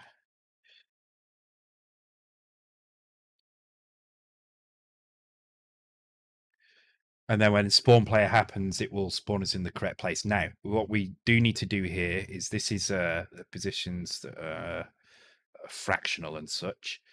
Um, this needs to change slightly. So these are the fractional positions. So we set fractionals. This is the MSB, which we'll look at in a second. I'm going to move this one up to here. So spawn x uh, plus zero uh, becomes uh, player x plus one and then we also need to do spawn x plus one, which is the MSB, uh, which becomes player x plus two, which becomes the x MSB up here. So, so that's correct there. Uh, then we need to do the same with player uh, spawn y, which is set up. There's no MSB, so that's everything's fine there. That's good. Okay, so that that is our our positions. I don't know why I need to write x and y there, but I'm going to. Um, and now what we need to do is we need to change these values. Whenever we whenever we exit the screen, we need to change what spawn X and spawn Y are. So we're going to have a look at map loader. Uh, there is a routine in there. Where's map loader? Maps. Map loader. There we go. So there is a transition that happens uh, which is not here, not here. next screen, not quite. Uh, here it's this shift. So whenever we do the shift, these values get put into the new location, and there should be something which says that we're finished shifting. So I need to figure out where that is. Um, scrolling map direction. Ah, here we go. So this becomes negative. So if I take a look in the game loop, what you will see, um, you can see here how we're, we're, we're deciding whether we need to scroll or whether we're in a normal frame.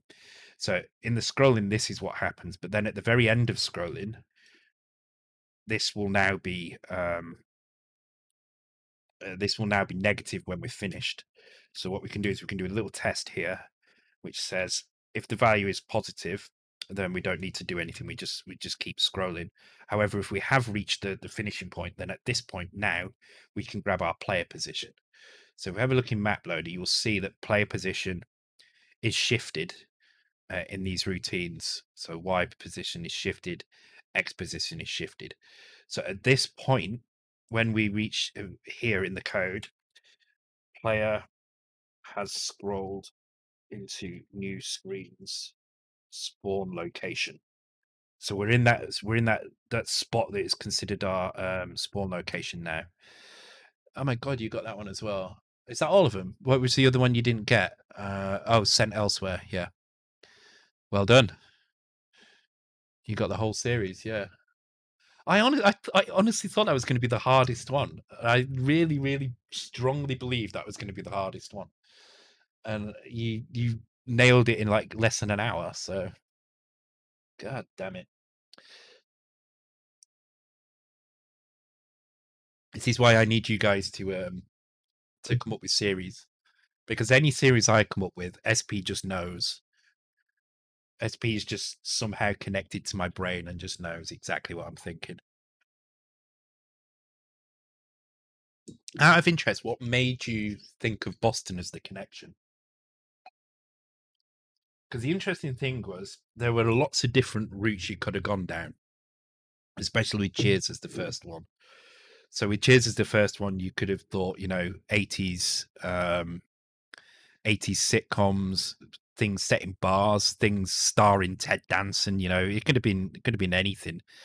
Um, read a wiki on Cheers. My God.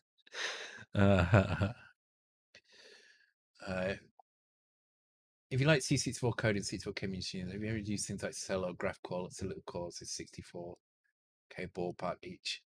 Um, it's not so. Oh God, a new one. it's not so much the um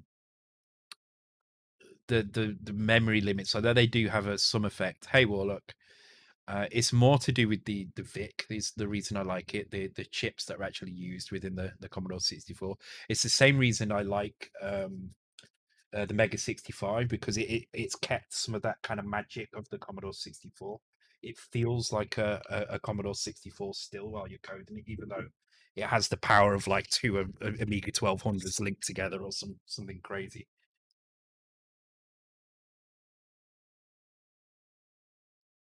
So no, I haven't I haven't really tried, but um,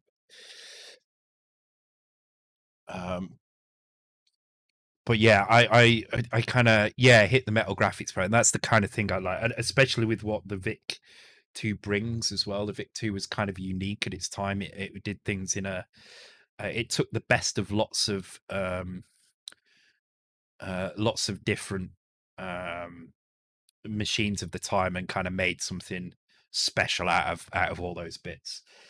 Uh, the Sega Saturn, Sega Saturn is too too modern for my liking. It's it's it's the kind of start of that 32 bit era. It's um, games weren't really written in assembly anymore. They started being written in um, in C instead uh, and it was all about you know 3D engines um, rather than than kind of well-made 2D games. So I, I don't really I don't really get on well with that that kind of era. I mean, I I would like to do something on that, but honestly, if I was to do something from that era, it would probably be the Game Boy Advance, um, because I've always wanted to try um, um, ARM code, uh, and if I could do something that was kind of half C, half ARM, and just kind of use C for the logic, but use ARM for the um, for the fast kind of um, optimization stuff, then that's probably what I'd use use it for. Um, anyway, yeah, let's let's get back on this. So you've discovered a new series. Anyway, this this one should be pretty simple to figure out what it is. Um, the Saturn can be used as a big 2D machine. Yeah, I, I'm sure it can, but I mean, you wouldn't if you were going to write a 2D game, you wouldn't necessarily pick the Saturn as as your platform. You would pick something like the SNES or the Mega Drive or something like that. There, there's not really a lot of point in writing a 2D game on a Saturn, other than the fact that you can obviously do uh, more sprites, more layers, and things like that. But um, yeah. Oh, this is Cars Ion. You wish. you wish.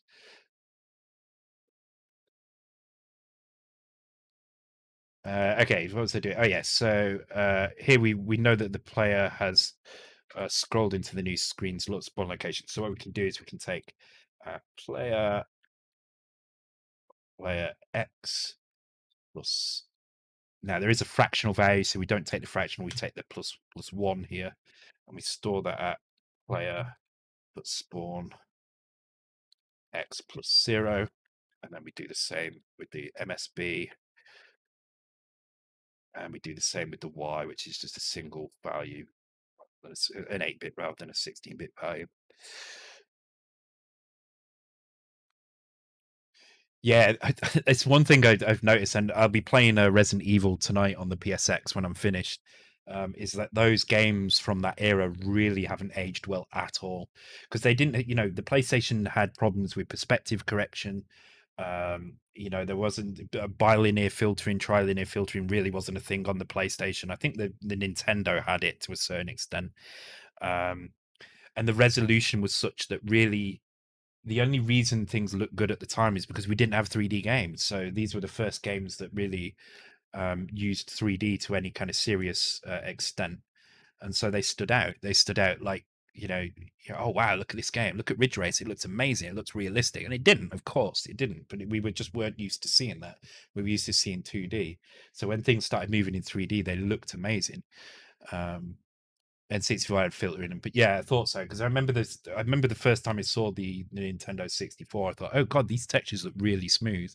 And then you would go to what like like um, the one the game that always got me on the PlayStation was Tomb Raider. When you were running down corridors, like very very tight, narrow corridors on Tomb Raider, and you looked at the textures at the side, you could see the the texture kind of warp as it was as two triangles were drawn, but the triangles didn't line up properly. The the the the uh, the the um the correction wasn't there on the on the textures the perspective correction so so the textures would wobble for one they looked incredibly pixelated and they didn't line up properly. So yeah, I find texture mapping exactly sort of thing you get when you just do um, triangle mapping. So you get two two triangles, you just put a picture on it, and then you skew the you skew the triangle. It's so it's a technique that was used a long time ago in in things like Flash and stuff to do uh, with like the Away 3D engine to do um to do those kind of weird um pseudo 3D engines, but um but yeah, it just it it was always very distracting. So when I saw that on the, the Nintendo 64, I thought, oh my god, this is this is actually very very impressive what they're doing.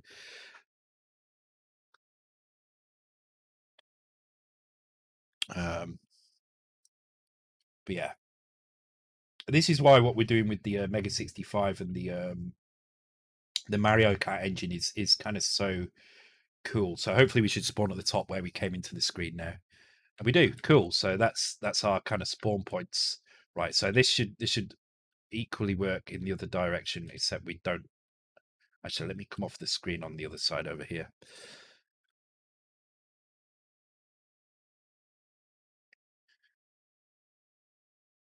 There we go. Right. So now if I if I die to these, actually it's going to be game over if I die to these, isn't it? Yeah. Still need to figure out why that bug happens. Okay, so that seemed to work all right. Let's let's uh let's go down this way again, but let's not die and let's come off this way. We need to figure out why those mines aren't working on that side.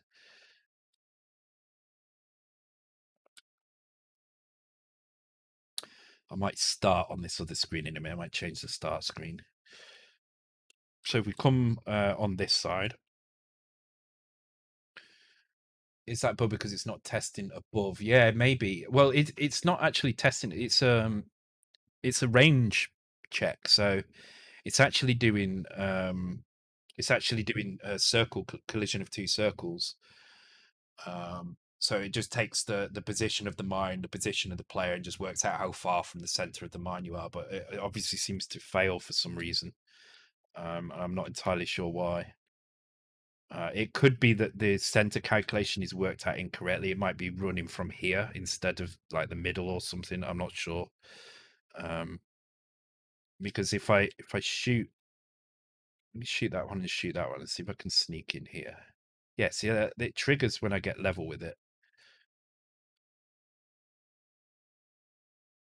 All right, so I should appear again on this side because this is the side I came in on. Okay, cool. Uh, the reason it's it's putting me where it's putting me and and facing me the wrong way is because that's just uh, you'll see when I that's where I end up when the screen. That's because of the way that the the screen actually works with um, when you enter the screen. It always leaves you so you can immediately go down. So see, I can immediately go down in this case. There, there you go.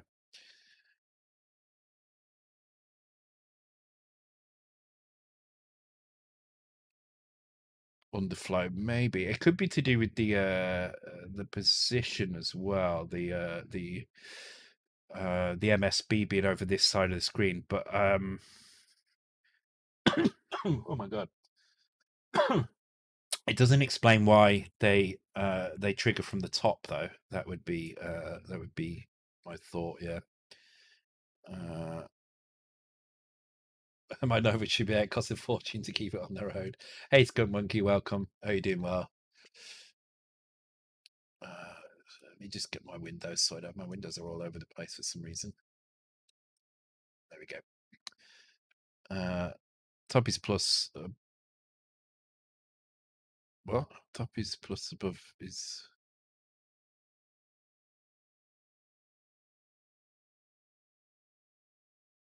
Is top is plus above above is store the direction we oh the you mean the direction we're facing when we come in? Yeah that's that should probably happen as well. Um sorry i'm just trying to work out what um what andy's on about. Negative numbers. All right yeah yeah it's it's going to be something like that. Thing is these were working so that that's the unusual thing. So i'm just going to start on this side of the screen first. Um and I'm, I'm also going to keep that um that as well. All right so let's start on screen 23 now. Uh that's using game loop. Uh, which was where we were starting before we kind of destroyed everything. Not destroyed everything kind of changed everything let's take a look. So we do want to record the direction that we come in. I think that's absolutely important. Um, makes makes absolute sense uh, for us to do that. It should be an easy thing to do as well. Subfu, thank you for the follow. Welcome to the stream. Um, and Law with 15 as well. I think I missed that one. Uh, so thank you for the follow. That was 40 minutes ago. So apologies for not uh, not mentioning that. Or maybe I did. I don't know. The alcohol's starting to take hold now.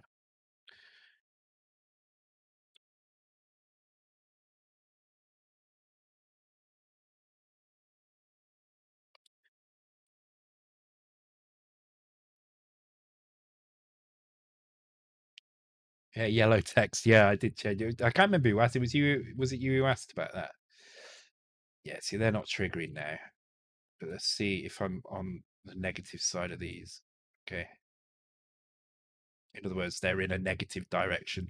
So when they're in a negative direction vertically, now can I get to this without triggering it? Okay. So yeah, so Andy, you are right. It is something to do with that because if I if I'm underneath it, I don't seem to trigger it. I have to be alongside it.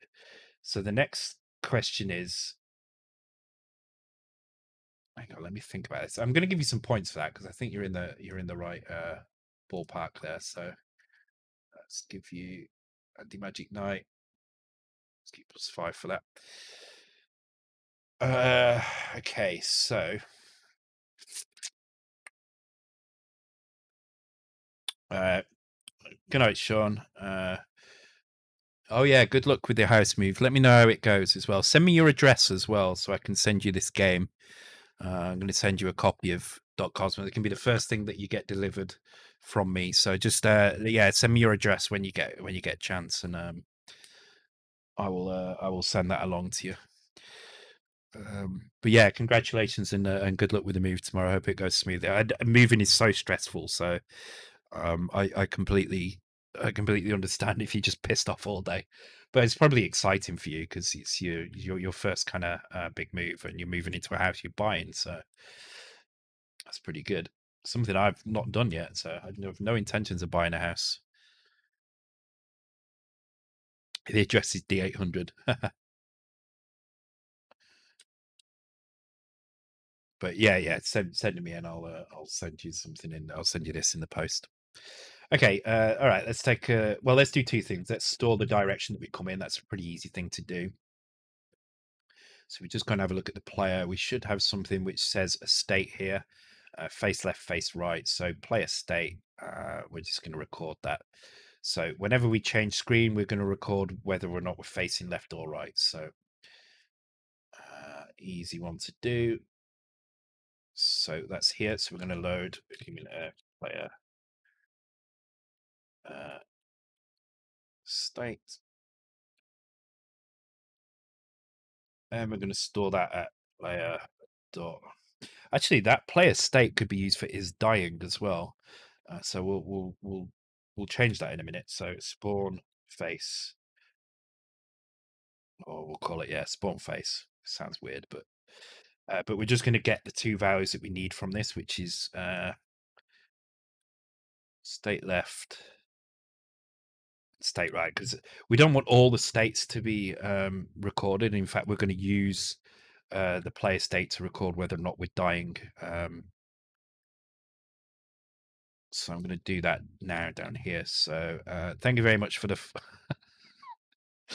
thank you very much for the follow, Say, Satan's Nips. I like that name. It's a good name. It's kind of stupid, but I love it. It's good. Uh, so we're going to also and this now with um, player dot state is dying. So instead of using that one byte, we can just use this um, this state switch here. Um, oh no, we need to, no no no we need to use it because we're using it as a timer, so it's fine. Okay.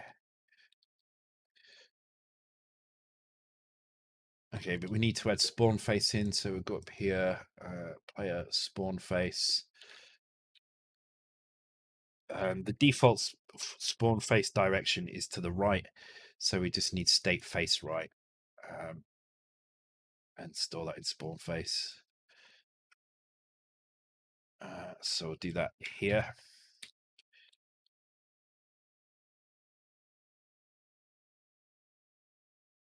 And then in the spawn we actually need to implement it so facing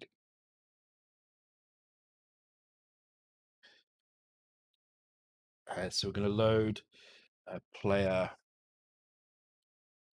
state. We're going to end it with 255 minus the states that we don't care about so that's going to be face right plus face left and then we're going to OR it with player, uh, sorry, spawn face. Cool. So that should now record the direction we're going, and then we'll have a look at that. Um,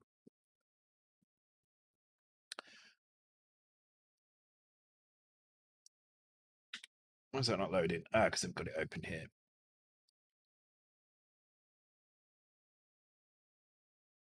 This stream is fine if you're studying 1975. Yeah yeah, this is kind of kind of old stuff, but it's um it's interesting. I think assembly is a really good thing to learn uh, for any uh, for any IT course um, because it gives you a really good grounding in um, in the way CPUs work, and that will help you understand compilers and things like that. So, um, assembly is going to be as, as close as you get to kind of the CPU, and it really helps you understand.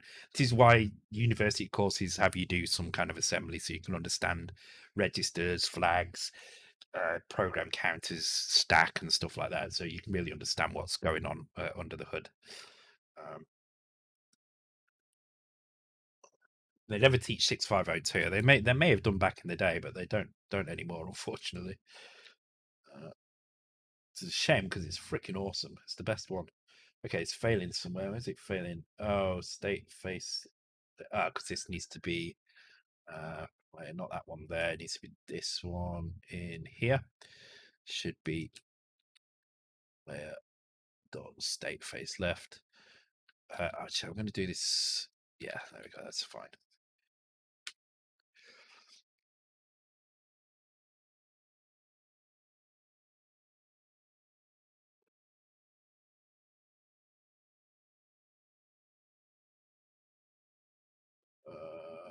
Why? Oh, have I made them constants? See, this is why. This is one thing I really don't like about um, about Kick Assembler. If you make them constants, they're not accessible outside that scope. Uh, and that should be 70 because that's our actual spawn location for the for the first screen. So let's put that back in.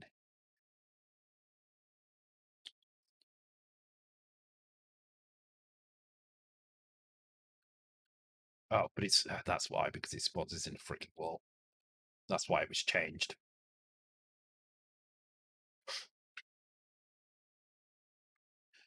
Open University, yeah, I know Open University. It's it's kind of uh, it's kind of useful. Oh, okay, you've guessed the second one, so kind of you must you must know uh you must know roughly what this this series is about. It's not a difficult one. I assume this would be one of the easiest ones to figure out. Um, but I guess I don't know how uh, subjective the the answers actually are. Most expensive sports cars in the world. Oh, that didn't spawn me in the right direction. That's interesting.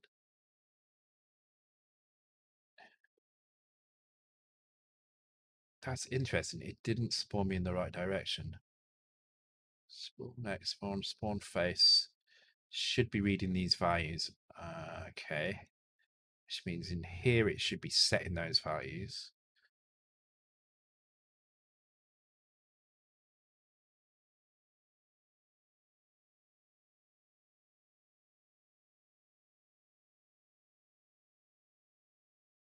Takes yeah okay so that should be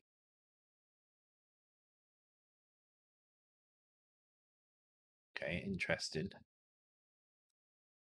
and then player spawn should be putting it back spawn player take player state. Oh because i'm not storing it again there we go calculating the value and they're not actually putting it anywhere Only nine million, yeah.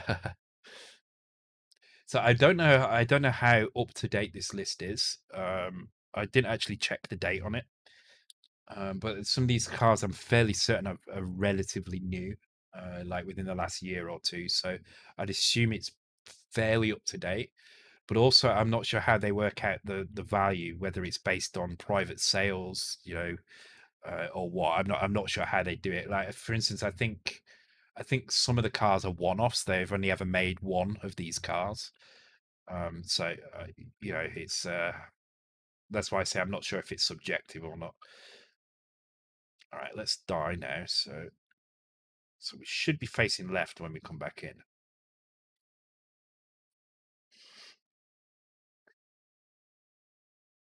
And we're not, we're facing the wrong way. Okay. Um, huh. Take the player state, yes. And it with left and right, so we only get the value of the left and right bit.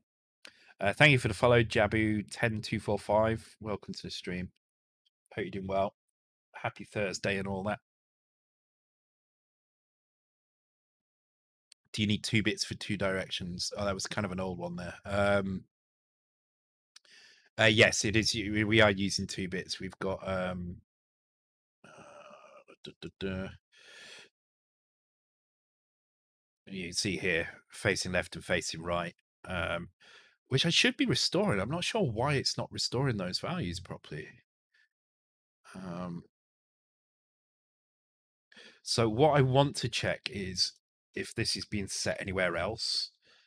Um,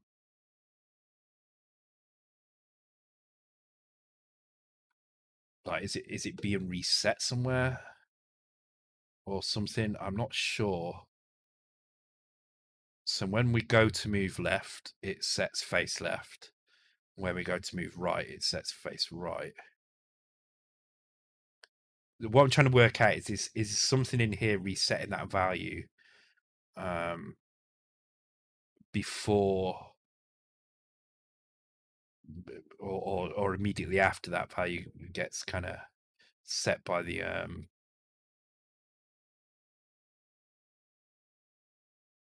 uh, by by the spawn routine.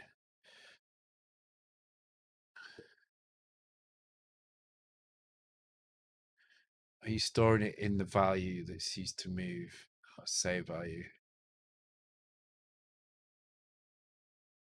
Oh yeah, yeah, it would be enough to do to do left and right, but um, the the problem with that is then I don't have a constant that I can. I don't have one constant for left and one constant for right. I have a is left, and I have to work with that. So yeah, I could use one bit instead of two, but I'm I'm just using two. Doesn't really make a huge difference. Just just makes some of the logic a little bit easier to work with. Uh, it means I can copy paste chunks a lot easier for left and right one bit's not a problem. Uh, are you storing it in the value that's used to move and not a save value? Okay, so I think I get what you mean there. All right, so let me take a look. Uh, so this is the game loop. Uh, this is the thing. No, it's been stored in the spawn face. Spawn face is not being used to. This is just like we've got spawn X, spawn Y, and spawn face. So that tells us which direction we're facing and where we are uh, and that is when the scroll happens that is what's being recorded and that is taking just those two values so the bit for player face left and the bit for player face right uh, it's and in those two bits so this value will only ever be uh, one or or two so uh, you could now be left and right at the same time that's true but um but the routine the left and right will always fix those um so you'll see in the control uh, whenever we change those, we the first thing we do is we uh, oh, that's not the control, but it's doing it there as well. Uh, whenever we change, then the first thing that we do is we we we remove those bits off, so we and it with the the kind of inverse of those. So, um, yeah, it, it seems a little bit kind of wasteful, but for one bit, it's not a huge problem, and it does make the logic a lot easier to to deal with.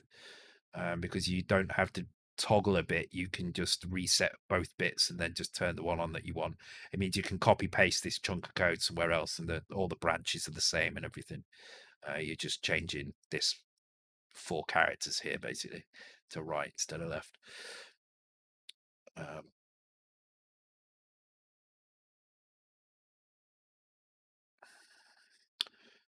but anyway, that's not the problem. The problem is that something it's not spawning the player properly at this point. So what I'm going to do, I'm going to put um, the breakpoints work now. I think they do, don't they? I'm going to put a breakpoint in here.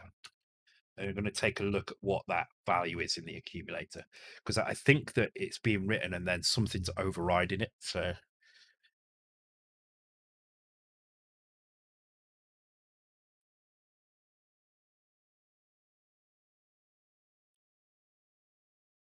Okay, so this is the place born. No. Wait, why is it why is it load accumulated zero there? Oh, because it's there, right. So the accumulator is actually zero two. So that's saying that we're facing right, which is correct. That's that's what we we see when we start the game. We have spawned and we're facing right. So then we go into this screen. We should be facing left when we come onto this screen, which we are.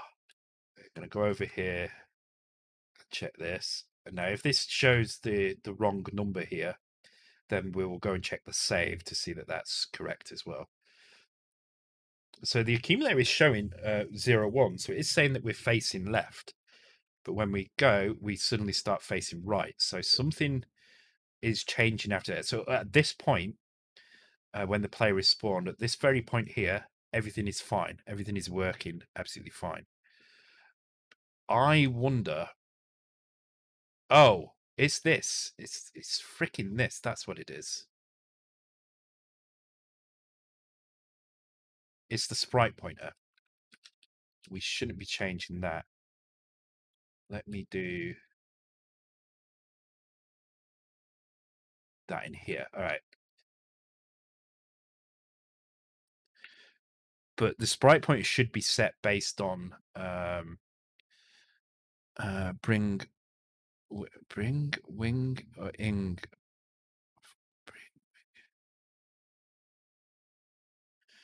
Are you drunk tonight, Andy? You've not made a lot of sense tonight. You're you're you're you're. I, I've struggled to read your story. You're usually very kind of clear with what you mean, but you've been you've been quite difficult to understand tonight. Or is it because I'm drunk? I'm not that drunk, surely. I've re- I have actually struggled with what you've been saying tonight. So what I need to check here is that uh, that we spawn um, facing the right direction. If I now turn that that uh, sprite off, but I have a funny feeling that it's just going to face whatever direction I am currently facing in. So let's first of all let's see if it if it actually works. Yeah, big legs. You ah, I see. Okay, okay. So that's now actually spawning in the correct location, correct face. But I want to try now coming at the other um the other side. So uh, did I change? No, I haven't changed anything. I I honestly think I think it's uh, I just think it's Twitch. Their their service is very erratic. Unless you're a partner, um, the service is very erratic. You you're you're kind of a lower tier of of of human beings, so they they drop you down into uh, quality and stuff when the partners need it. So so we're going to face this direction and get hit this time.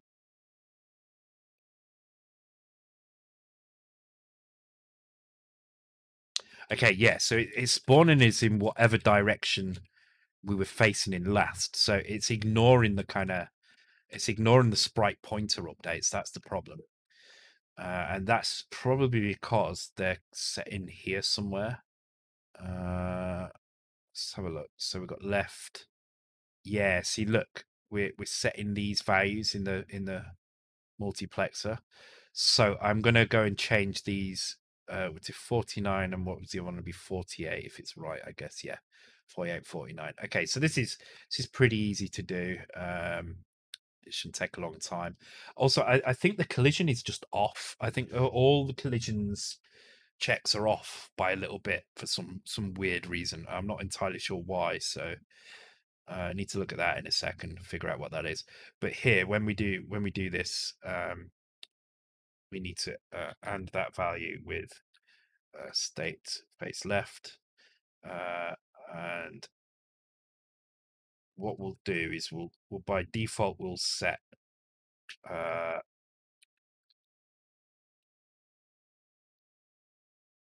we'll use X for this. So we're going to load X with 48, which is our facing right. Um, so you can do this here. Okay. Then we're going to AND the accumulator to see if we're facing left. If we are facing left, uh, then we, we're going to set this to 49. However, if we're not facing left, uh, we will retain the 48. So this needs to be, if we're not facing left, so in other words, if this value is zero, let me jump to here. No, uh, if we are facing left, sorry. Wait, no. Yeah, if we're not, hang on. Yeah, if we're not facing left, that's right. Yeah. Okay, so I should fix that, and then we need to figure out what the hell is going on with the uh, the collision. There's some really weird stuff going on with the collision. I think. So I noticed that I didn't uh, I didn't take damage. I didn't, you know, I didn't get hit by the uh, the, thing coming off the uh, off the mine for some reason. Uh, and also the, the the bit that we know, which is these aren't triggered for whatever reason. But it seems like if I'm below one of these things, I don't even get hit by the bullet. So if I'm like here, Oh no, I did that time. Okay, maybe it's just inconsistent. All right, probably gonna have to work on this a little bit. It's a bit annoying because this has uh, been more than I really wanted to do. But yeah, that was facing the right direction this time, so that's good. Okay, let's see what's broken about this. So if I go up here, see that didn't hit me. That should have hit me, and it didn't. Okay, so this is a good screen to work on next. So let's start by figuring out these things here. Let me put my lives back up now. I don't need the game to reset now. Uh, and turn the border color change off. Get rid of that because we know that's kind of working. So what we're looking at is collision. So this happens. Um, is it these ones? I think it's in these ones. There's there's a uh, shit. Did I?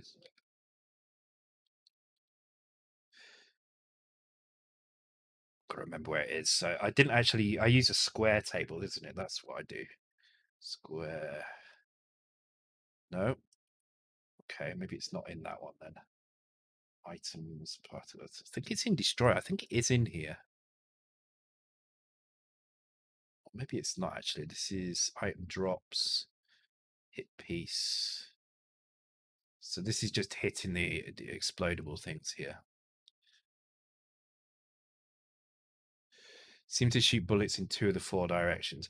I think it does shoot in all the directions, but for some reason, something's absorbing them. Or maybe it is only shooting in two directions. Maybe that's part of the problem. Um, but the biggest problem at the moment is that we're not triggering those mines from underneath, um, which is the the the serious serious issue that we need to resolve. Uh, this that should not be happening. But let's let's go and uh, trigger one of these and move away from it very quickly. All right, let's keep an eye on that. So I did fire two, but it seems if it's right up against the wall, it doesn't show the ones. Oh no, see, it is firing in all directions. Okay.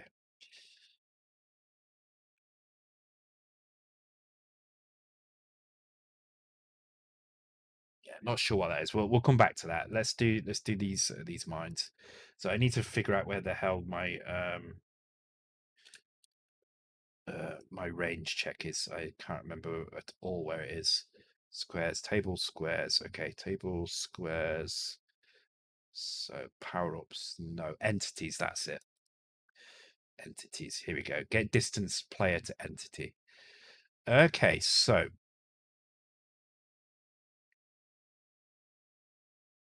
so we have a dx and a dy. So we have the the distance x and the distance y, or the delta x delta y. So this is our, our um, distance between um, uh, between the, the the player and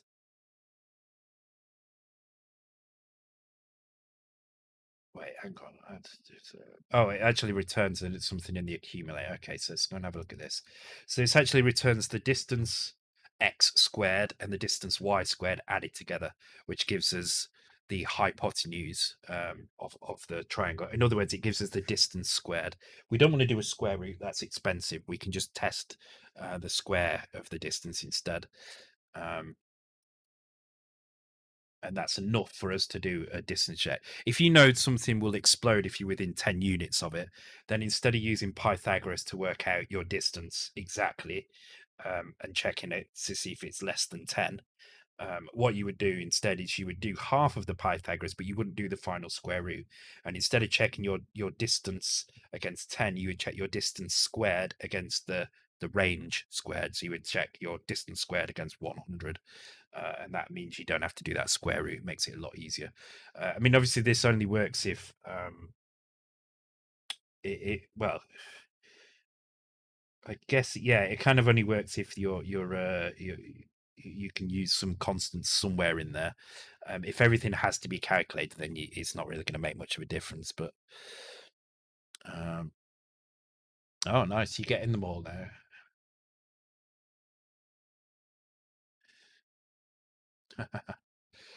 some of these names are some of these names are really really bad. Uh, oh yeah, I'm not. Oh, well spotted. This is in the X though, so. Um, but that's a very good point. We're not clearing the carry bit there. Uh, wow, you are super lagged. you are you are super lagged. Uh, however, oh no, yeah, yeah, you're right. That is that should be a clear there. Oh, uh. Uh, shit. All right, I need to think about this. Need to think about this. I need to be very, very careful. So I take the player center of the player and I subtract. And if the value is negative, then I need to negate it. So I need to heal with FF uh, n plus one, and then store that value in dx, and then compare that. Okay, so this is set because of the compare, so that's fine. If we, if our value is so th- this is an early exit function uh, functionality. So what this is doing is it's comparing our delta value uh, to the maximum distance, so the distance that we we consider to be the range. Um, and if it's if it's uh, less than that, then we carry on. If it's more than that, we can just exit because if any any of the x or y distances is longer than the range, then the hypotenuse, you know, the distance squared is going to be longer than the range as well. Um, so yeah, if this if this works, Andy, that's a ten pointer, I think.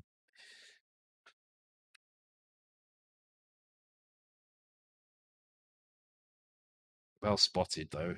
I mean, it's a bug either way, right? But um, So it's either a it's a five pointer if the if this if the mines don't trigger on this next screen, it's a five pointer. If they do trigger, it's a ten pointer. So what do you reckon?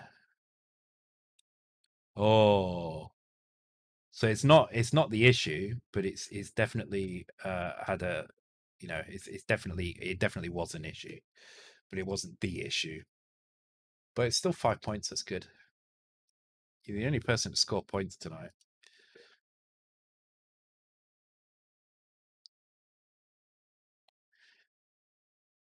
So the next question is why is this value not um you know not the right right right value? Let's so there's some early exits here so let's go to this bit where it doesn't early exit and let's take a look at what these values are um, in in dx and dy and see if we can work out from that what um the the values are. So we have a, a square table. So this is our this is our distance here and then we use these values to look up in a table. So ideally these would be quite low values or the maximum distance would be a low value. So one of these is going to be um, wrong, I'd assume. Now, hopefully this triggers at the right time. Um, it exists if X is out of range and never checks Y. Um, yeah, if X is out, out of range, it exits, yeah. Because why would it need to check why? It never never actually needs to test that.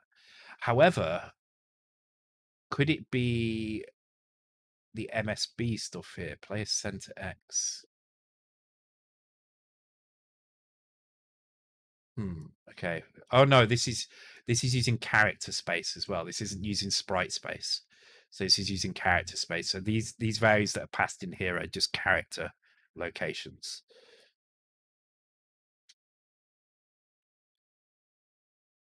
But it does because it's below and not to the side. Yeah, but if your distance, if your x distance is ten away from something, it doesn't matter where you are. You're still out of range of it.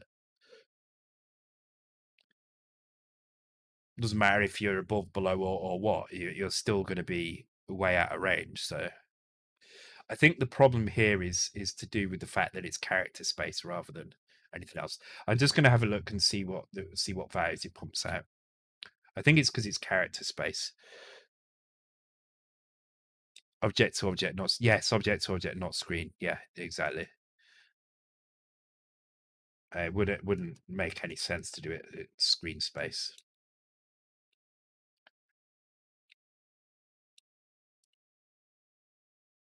Come on.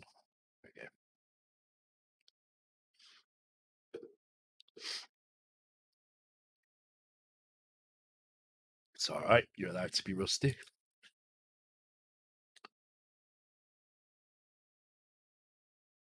Okay, so because we're not close to anything, it's not triggering that break. But I'm hoping when I come in here, it triggers some breaks, but it's not doing, you see. So now the question is, is it triggering the X break and is it triggering the Y break? So let's let's move uh, this breakpoint up a little bit. So let's all right, does the X check first. So let's do a, thing here. So now we're going to check are we within X range? And if we are, then we're going to trigger this out. Now this should trigger as soon as I enter the screen from that side. I don't think there's anything else on this screen that's classed as a as a an entity that we have mapped because uh, these aren't these aren't turned on, uh, and these don't have any range checking on them. I don't know if we can even explode them yet. Yeah, we can. Okay, but they don't have any range checking on. Now those things will do.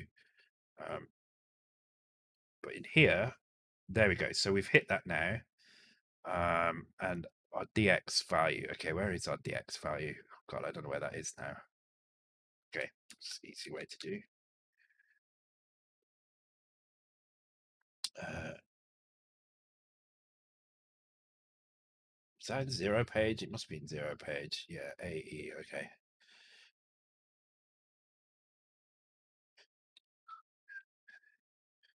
Our distance is zero, which which kind of looks about right. If you think about um, Actually, is this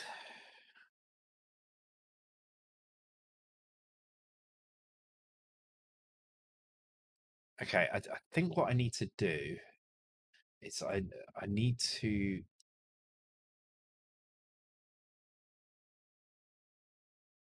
I need to think about this in terms of the why. Let's take a look at that and what's being passed into this function. So let me close all these other other things down. I don't need all of these other other things.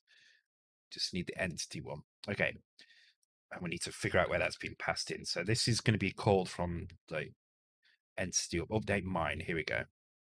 And there'll be a few of these. There'll be one for spikes as well. But basically, mine activate distance. Okay, so this is the the, the distance you need to be away from them to trigger them.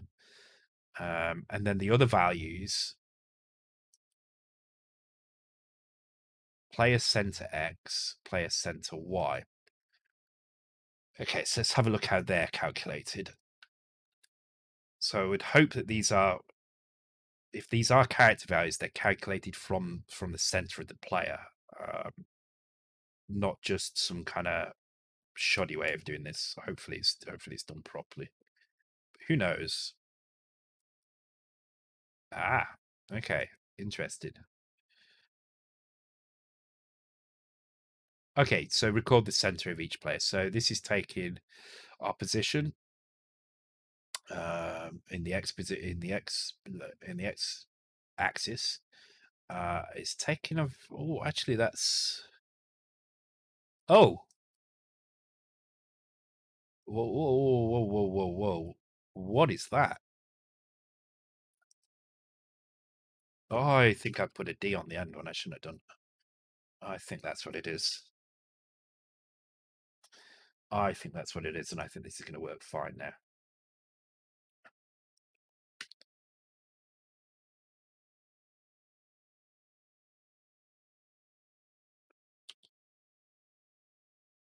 Unfortunately, we're going to get a freaking breakpoint now, aren't we? But I think that's I think that's what's happened here. Yeah, there we go. God damn it, that's what it was all along. So at some point, I've obviously I, I've hit I've hit a key somewhere and, and done that by mistake. Yes, it was. It was when I was using AWSD instead of the cursor. That is. You're right. You're right. That's exactly what I've done. God damn it. All right. Oh well. You get a D for that bug.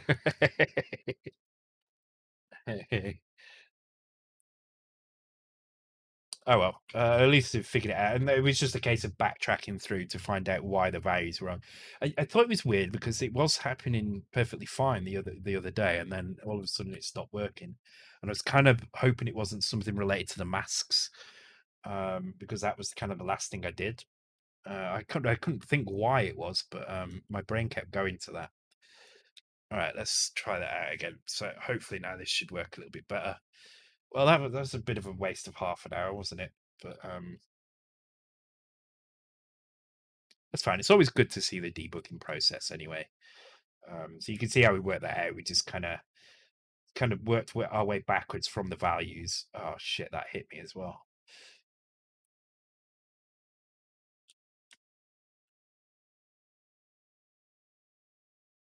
It got you. Ten, it did get you ten points. That's, uh, that's a good point. Yeah, this is working perfectly now.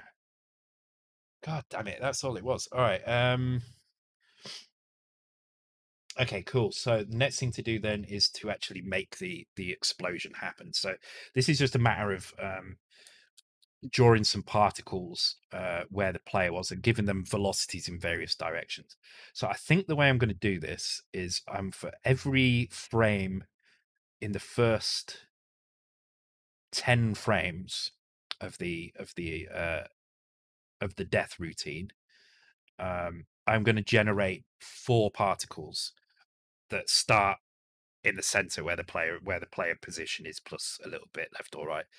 Um pete you didn't hit the wrs key it would have been yeah that's a good point actually. That's a very very good point.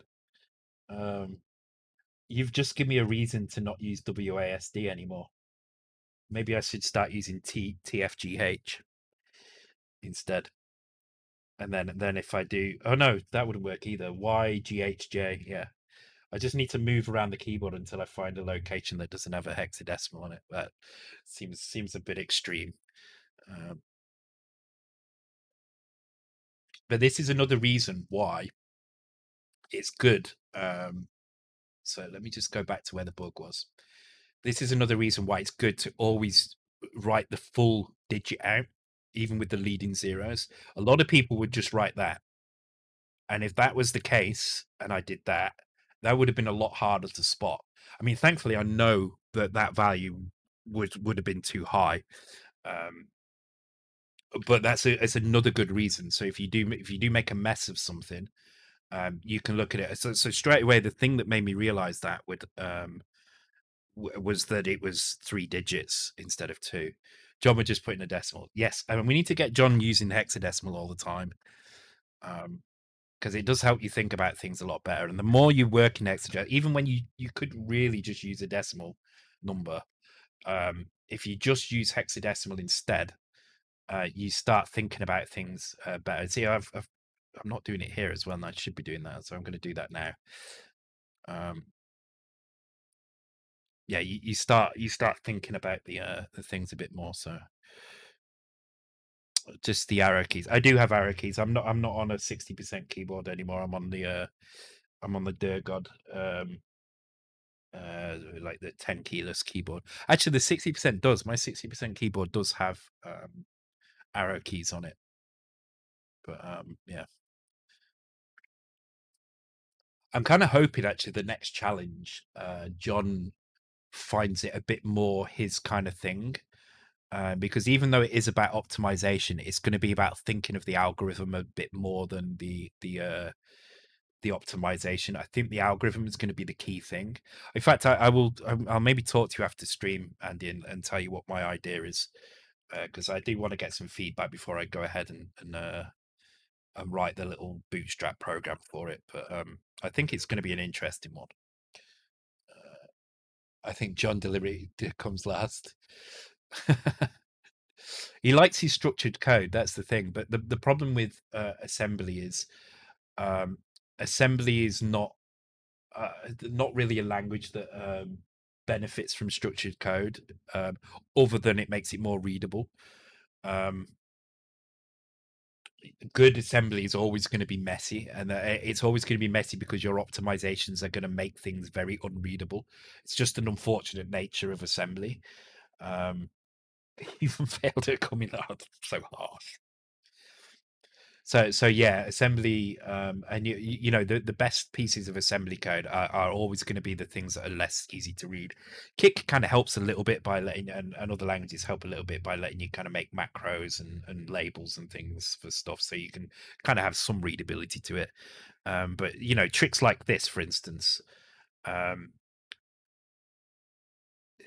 I mean I know what it's doing because I'm used to seeing it, which is I'm I'm taking the MSB I'm shifting that, then I'm shifting the the lower byte, and then I'm doing my additions with half values here. It's just a it's just an optimization that makes this a little bit quicker to do. Um, but it does make it slightly less readable. Um, and there's lots of little things like that in the code all over the place. Um, but you just have to when especially when you're doing an optimization test, you do have to uh, you do have to take the um,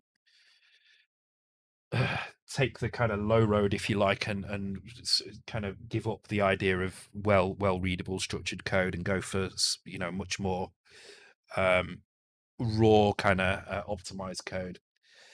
Uh, Zebment, thank you very much for the subscription. I very much appreciate it. Welcome.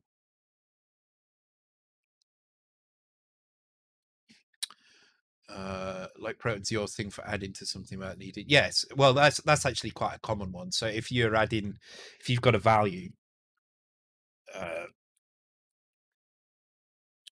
uh, like like that, and I want to add eight to it, um, you would normally have to do a clear carry flag there to make sure that the carry flag is clear, and it also means that you can't bank on the carry flag being what you want it to be down here but because you're not changing the the add here is never changing any of the other bits. If you think about this in binary um, what you get is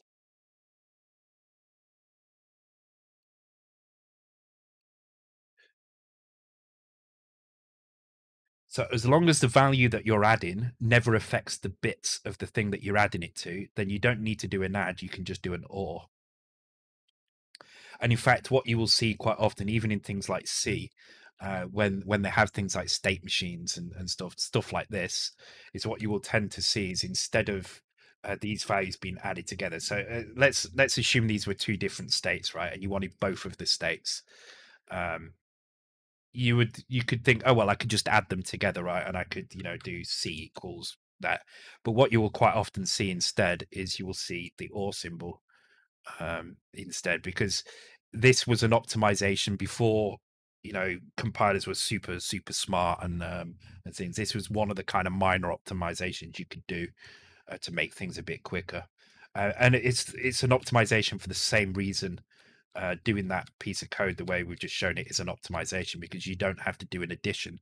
If you're doing an addition, uh, then you have to know the state of carry flags and stuff. So um, so that that trick is uh, quite well known, especially to to C coders. C coders will, will, will know that from uh, from back in the day, from trying to kind of optimize things manually uh, by doing things like that. Um, I know it from uh, my my first introduction to that was doing C for uh, Quake Three mods. Um, so doing um, using some operators of Cardinals in yeah.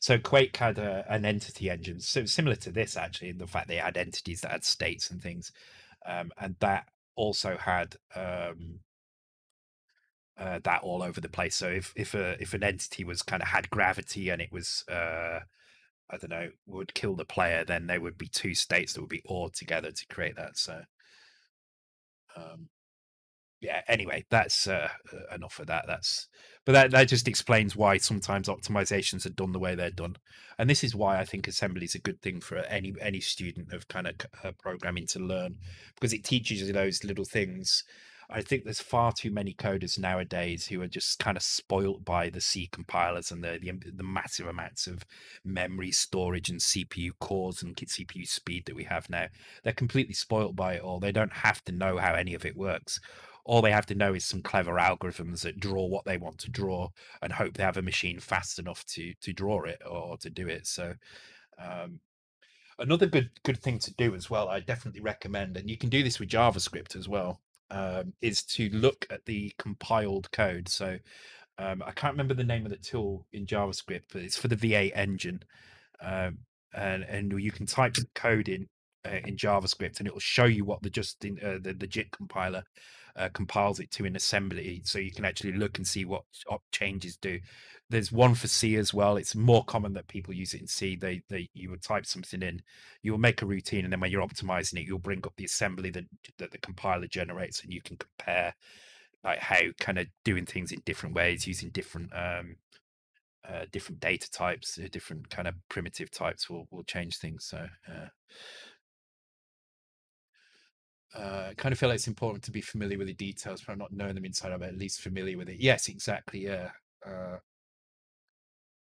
JavaScript's another. V8 does do its own thing, but it's really useful to see. Uh, like I learned so much about JavaScript by by seeing the assembly that it outputs, that the JIT compiler outputs. I learned so much about the way you should, um, uh, you know, just little things like if you if you create a class, um, don't instantiate any variables for the first time in the methods. Any variables that get used anywhere, instantiate them, even if you set them to null, um, instantiate them in the constructor. Because if you don't, then the V8 compiler doesn't know what to do with them, and it probably won't optimize those functions. It will probably leave them as um, as non-compiled. So always create your kind of this dot variable blah blah equals null in the constructor, even if you don't use it until some function that gets called, called lo- loads of time kind of um, after loads of time, it gets called like once in a blue moon. Uh, you know, after half an hour of the program running, still initialize that variable, even if you just set it to null in the constructor. Um, even better if you know what data type it is, then do that because then then it makes the job of the JIT compiler a little bit easier, um, which will speed up the actual generation of the assembly. Even though it will still generate the assembly the same both times because it can infer from the functions. Um, it will it will generate them better. Also with arrays, don't don't mix types in arrays because that's just that's just a recipe for disaster when it comes to the the V8. Um, I spent more time perfing JavaScript code than you liked it. Yeah, same. there's there's tons and tons of tricks like that, and you will learn most of them just by sitting there and watching what the the V8 outputs as you uh, as you code. Um, anyway, let's uh, let's carry on. Uh, most students today can't even program a higher language with a parrot. Yeah, that that is the problem. The the parrot PCs um, means that the um, you know they they're using these high level languages with frameworks that they don't even understand. I mean, they're barely doing any of the work anymore.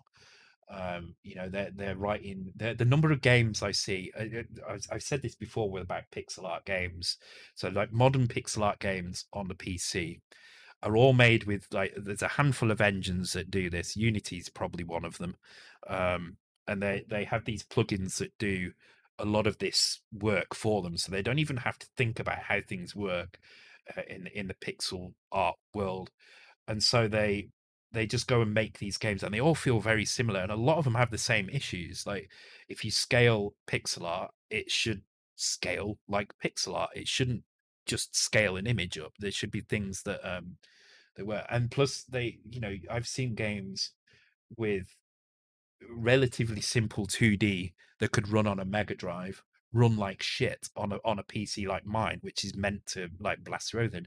And it's simply because they don't understand optimization. They're just throwing stuff at um, at a program until you know until they run out of processing power. It's a shame, really. Um, anyway, uh, let's get back to this. So uh, we are going to in the player dying routine, which is this one here, which counts down. Uh, we're going to do some uh, stuff here. So we're going to spawn particles. Uh, and then this final one is uh, decrease timer, decrease death timer. So for now, I'm going to spawn one particle every second, and we'll see how that looks, and then we'll change kind of how this is working. So what we're going to do is we're going to pick uh, some random directions. So what I'm going to go and do is I'm going to look at the exhaust code uh, from actually it's in here, so at the bottom of here. So uh, because there is some random number uh, stuff in here that generates. Uh, actually, this just generates the x fraction. So this kind of needs to be wrapped up a little bit. All right, let's let's do this uh, differently. So how's this working? So it gets next exhaust index and that becomes the next particle. But we don't want to use the exhaust index. We want to use uh, whatever the next particle is. Hopefully there's a next particle or there's an add particle. Update particles.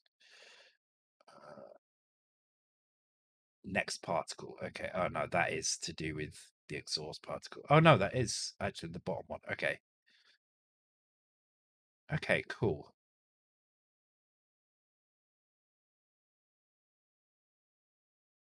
Let's take. I, I need to figure out exactly how to do this. I think the easiest way to do this is look at something that actually does spawn particles. So let's have a look at destroyable.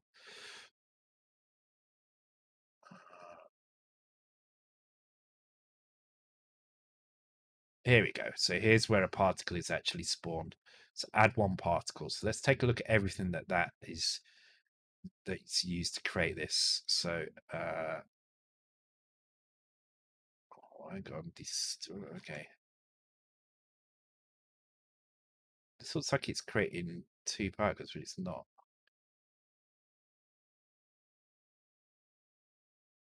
Oh, this is wait. This is wait, wait, wait, wait. What's going on here? Max laser particles, max exhaust particles.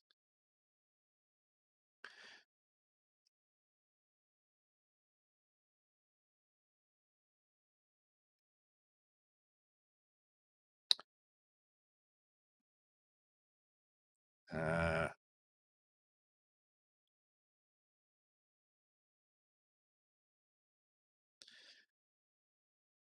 okay, so this gets whatever the next particle is.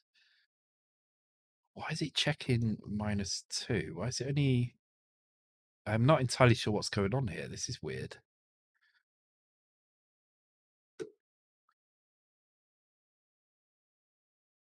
Why the minus two? What's it checking there? Otherwise, it starts at the beginning again. Okay. Okay. All right. This. All right. Yeah, I can copy this pretty much. All right. Let's just grab that. We need to make a lot of changes to it, but this is kind of along the right lines. So, uh, what I'm going to do though is I'm going to create a spawn random particle function. Uh, so I'm I'm not doing it in the middle here, which is uh, not here. Well, actually, no, it's probably let's, just put it in here for now, and then I'll, I'll move it if I need to. All right, because I, I don't want I don't want the the overhead of kind of calling uh, a function here um, if I can help it, because I may be doing this multiple times.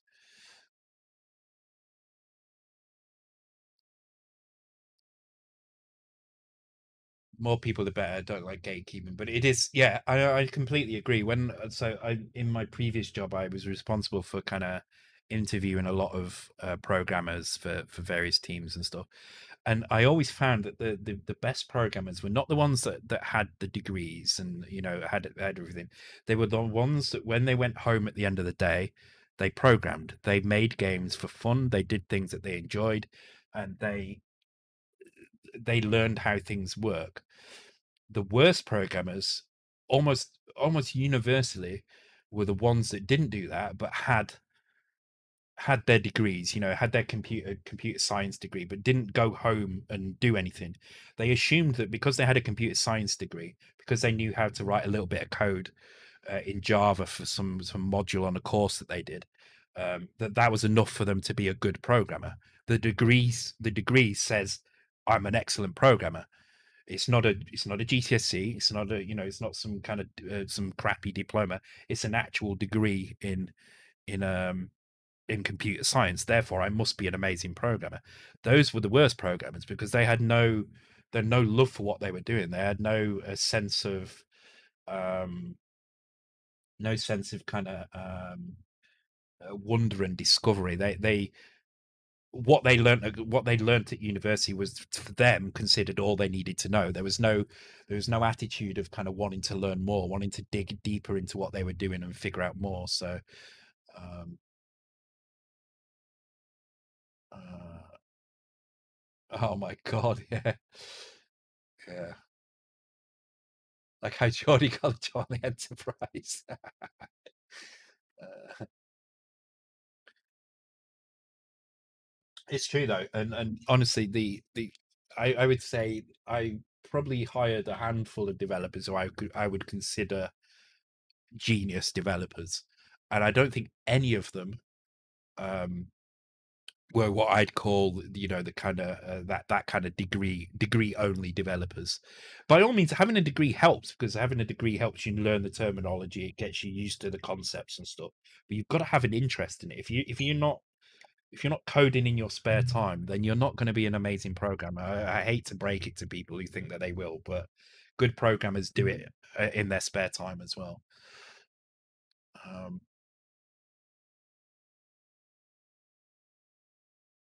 Oh yeah, definitely. Degrees do help. They they get you in the right the right frame of mind for doing things, and you can you will discover on a, on a programming course if you are going to be a good programmer or not. What I don't agree with is the people who who think because they've got a degree under their belt, they don't need to do anything else. They don't need to learn anymore. They think they they know everything, and you don't. Unfortunately, a degree is is only going to teach you a tiny tiny fraction of what you need to know to become a good programmer programming yeah by analyze it exactly Nick. it's all about um yeah and andy as well it's all about the passion it's all about um you're coding something at work and it gets to half past five the good coders won't just drop everything and go home. They will finish what they're doing. They will spend the extra 10 minutes half an hour. In some cases i've seen coders stick around for another three hours because they're so focused on what they're doing they want to finish it. And that's not because anybody's told them to stay it's just because they're so dedicated to what they're doing. They're so invested emotionally and kind of in what they're doing that they they want to finish it um, and that's that's when you can spot the difference between the good coders and the bad coders so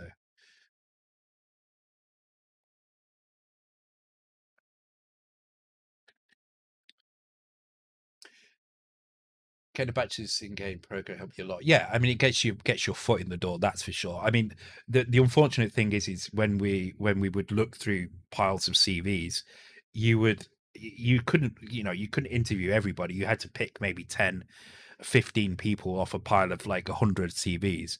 So you do tend to pick the ones with the the experience, with the um with the right kind of qualifications. You you pick those people first. So so yeah, it, it does get your foot in the door for definite. Uh, but you have to have that um that hobby mindset. If you don't have the hobby mindset, then then you you're only i mean you might get the job but you're never going to be like considered an amazing coder i don't think anyway, that's I I don't want to disparage. I don't want to put anybody off either.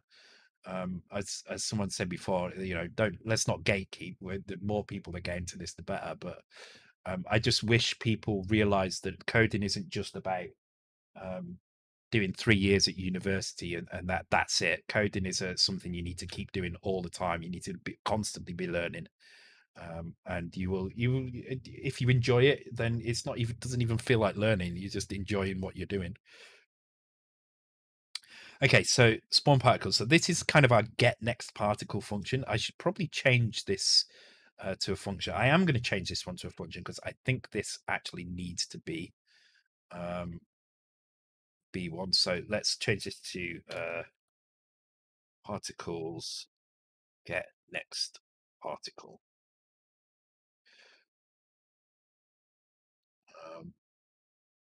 but yeah, I, I, say I don't want to. I don't want to gatekeep either. I, I think everybody deserves a chance to um, chance to prove that they can do the job. Get next particle, which means I can get rid of that there, and I can keep that the same. Okay. So this will always return in y the next particle.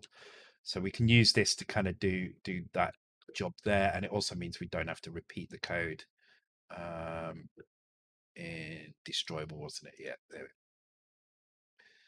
It does mean uh, that we've got an overhead of a function call here, which is not super ideal, um, but it's only happening when particles are spawned, so it's not a not a massive. It's not like it's happening every frame.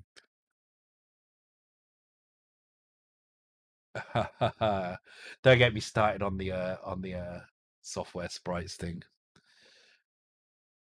that's the that's the other side of the coin. That's when you've got people who are so so convinced they know every single thing about every topic, they refuse to accept that a term that they learned in the early 80s has evolved over time into something that encompasses more than what they originally think it was. And I, I find that really annoying. Software sprites, yes, did used to mean you know a, a smaller thing, a smaller range of things than it means now. But now software sprite really means yeah, it, it means anything. A sprite is the is the term. Uh, sprite means. Oh my god, you're you you're churning through these. Have you found the list that I was using? Maybe. Yeah. All right. Anyway. Uh,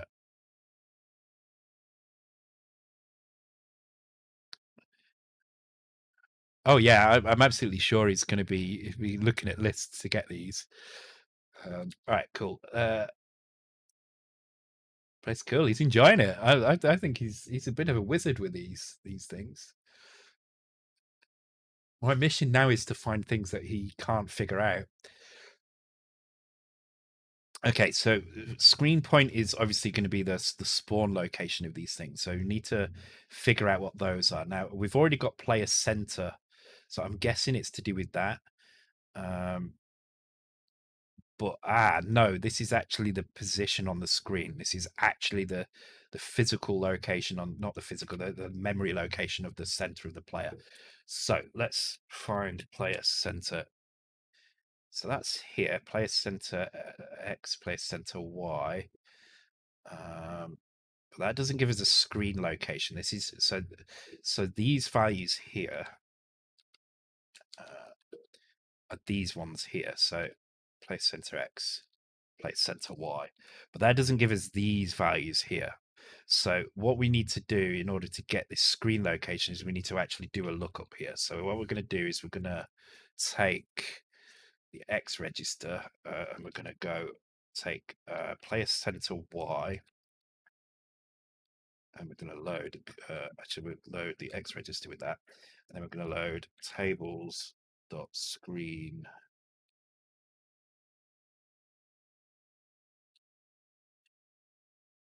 No, have we not got a rows table? Surely we must have a rows table. That doesn't make any sense. Screen row. There we go. Screen row LSB and screen row MSB.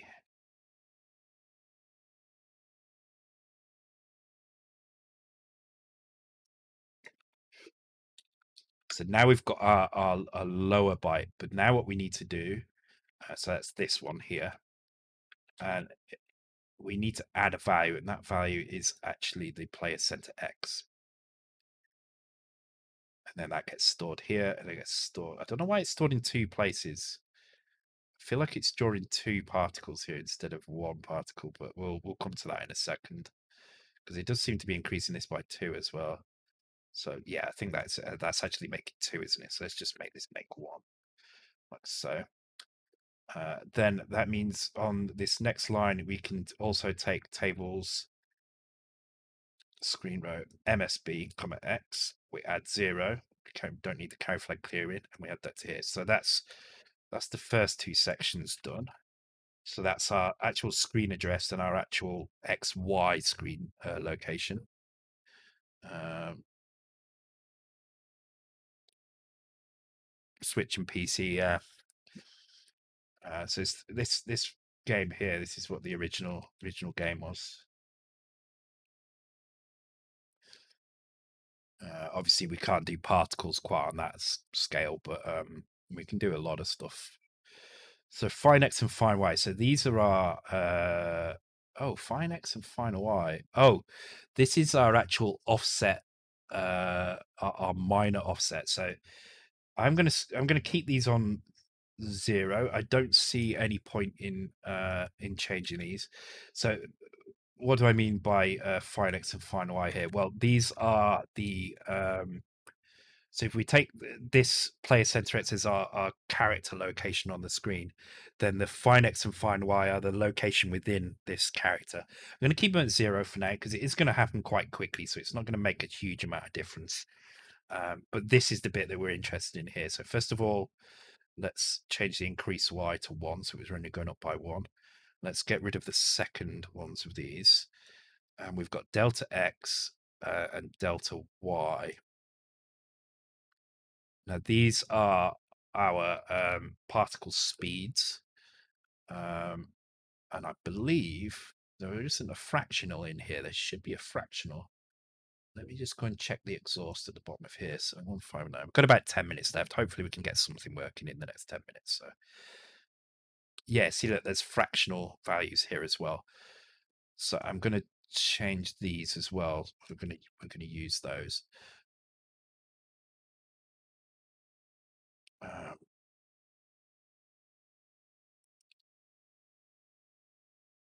so I'm just going to put a random number into the into the fractional. I don't really care which direction this is going in at the moment. Um, but what I do care about is this number here, the, these these first numbers. So what I'm going to do is um, for the x value, actually I'm going to start with this. Uh, I'm going to start by not using the fractionals uh, and just do whole number things here. So this needs to be a, a minus one, uh, minus two, minus three, plus one, plus two, plus three, something like that. So the easiest way to do this is going to be to take um, a random number. So we're going to go for this. It's going to give us a, a huge range of random numbers. Uh, then we're going to um, and it with 07. So now our value goes from zero to uh, zero to seven. Um, and then we're going to subtract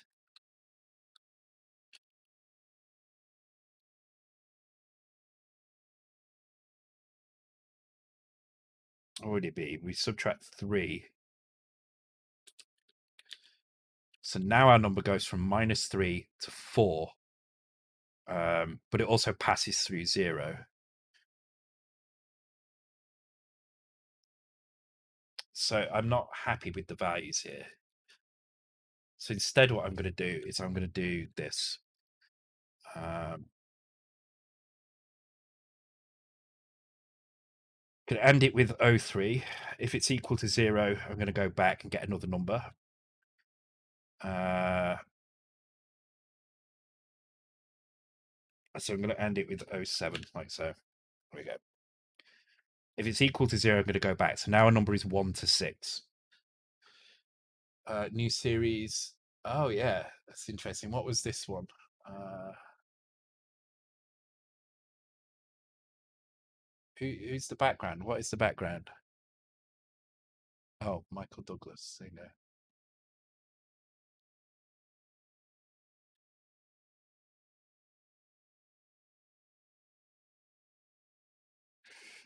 Are you doing the particles? Yeah, yeah. The all the all the particles in the game are um, so all, all the exhaust particles you see here. Uh, they're all, all done with the particle system. Same on here as well.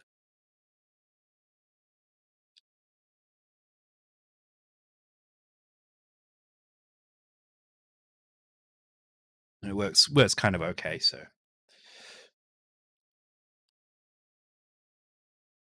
okay, so now I'm not going to subtract three. Instead, what I'm going to do uh, is I'm going to compare this uh, to zero four.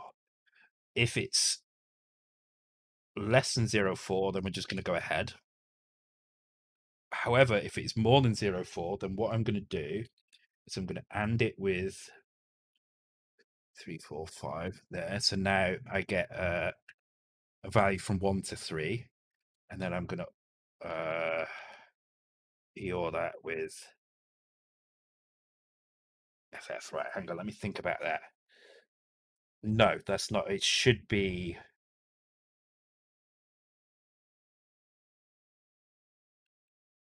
Uh,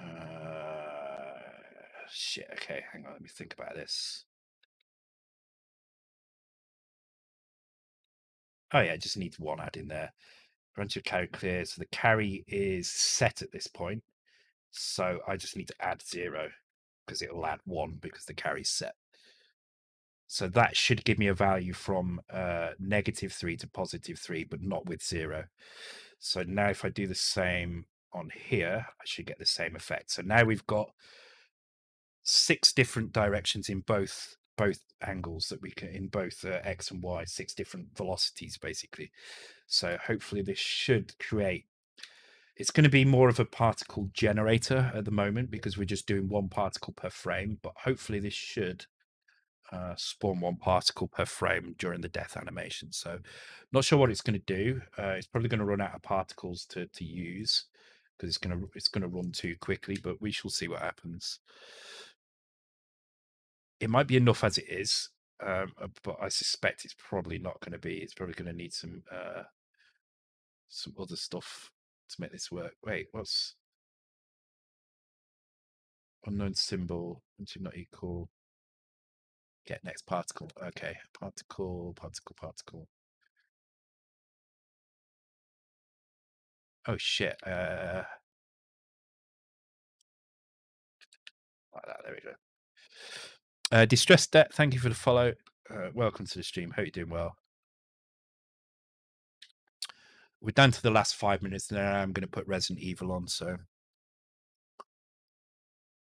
yeah, it could lag finding random numbers, but you've only got a one in four chance of it having to find again. Um, uh, does the plus? Yes, it means uh, the the previous label or the or the or the next label.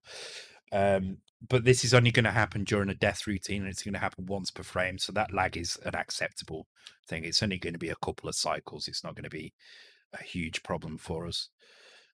I mean obviously if this was happening on, a, on every frame uh, then then it would be it would be a very different story indeed.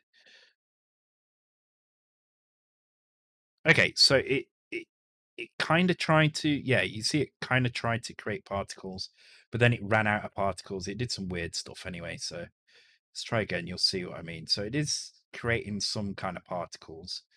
Um, it's actually not too bad, but I think what I'd like to do is have them all appear at the same time. Um,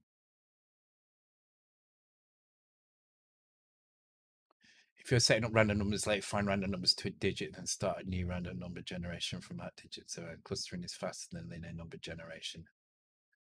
Um, but the random number is always going to be from zero to 255. That's how the random number generator works uh, in this. So the, the fastest way for me to, to turn that number into a range is to use um, uh, to use logical operations to, to reduce the range down.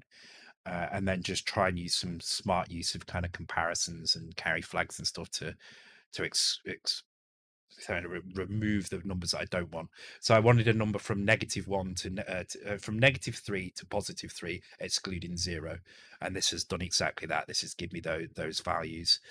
Um, so the only thing I'm going to do very very quickly, uh, just before we, uh, I, I, will take a short break for a, for a couple of minutes. Um, but what we'll what we'll try and do very quickly is just change the way that these uh, these things happen. So it's, it's going to be very, very kind of temporary this bit. But um, what I'm going to do is I'm going to check this player is dying value. If this player is dying value is is uh, FF, uh, so we're going to compare it directly to FF. If it's not equal, we're going to skip particles.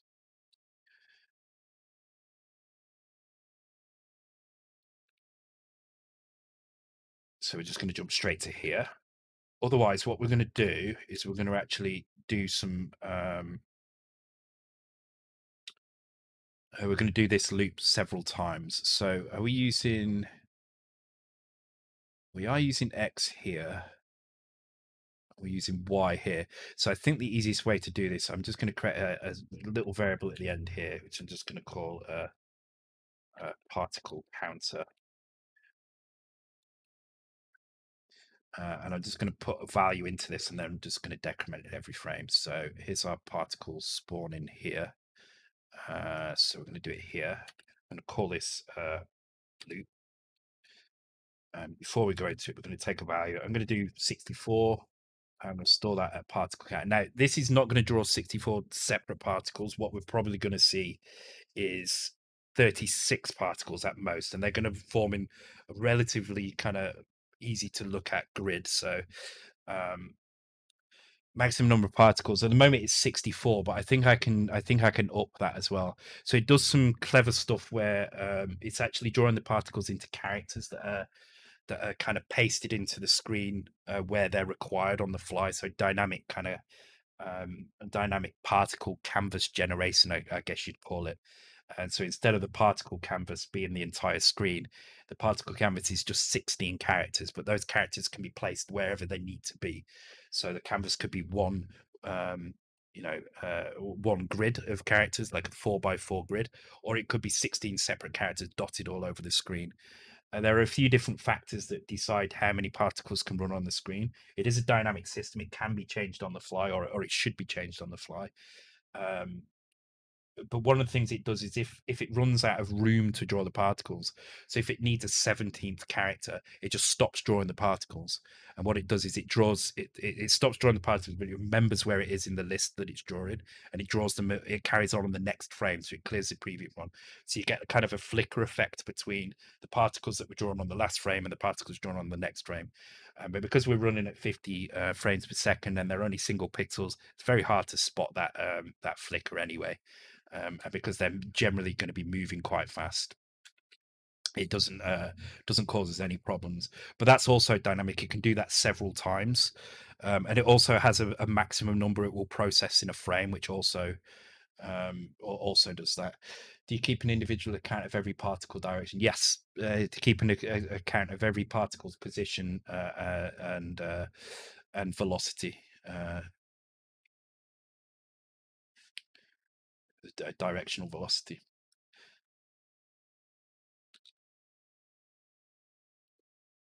So we're going to decrease particle counter, and then if that's not equal to zero, we're just going to jump back to loop, uh, which I think was lowercase. There we go. So this should spawn all of them in one go. Um, but as I say, we're because we're not using fractional values for the for the velocities. The velocities are just integers. There's just going to be one, two, or three in in either direction in any of the four directions. Uh, so that's going to give us six possible uh, six possible velocities on the uh, the y-axis, six possible velocities on the x-axis. So what we'll see is is a grid of pixels with a tiny hole in the middle where the zero would be. Um, that's uh, six particles one way, six particles the other way, and it will just kind of expand. Um, there may be some holes missing in it because we're only going to try and draw 64 particles, so it's it is going to miss some of them just randomly sometimes, but um, it should be pretty much what I say.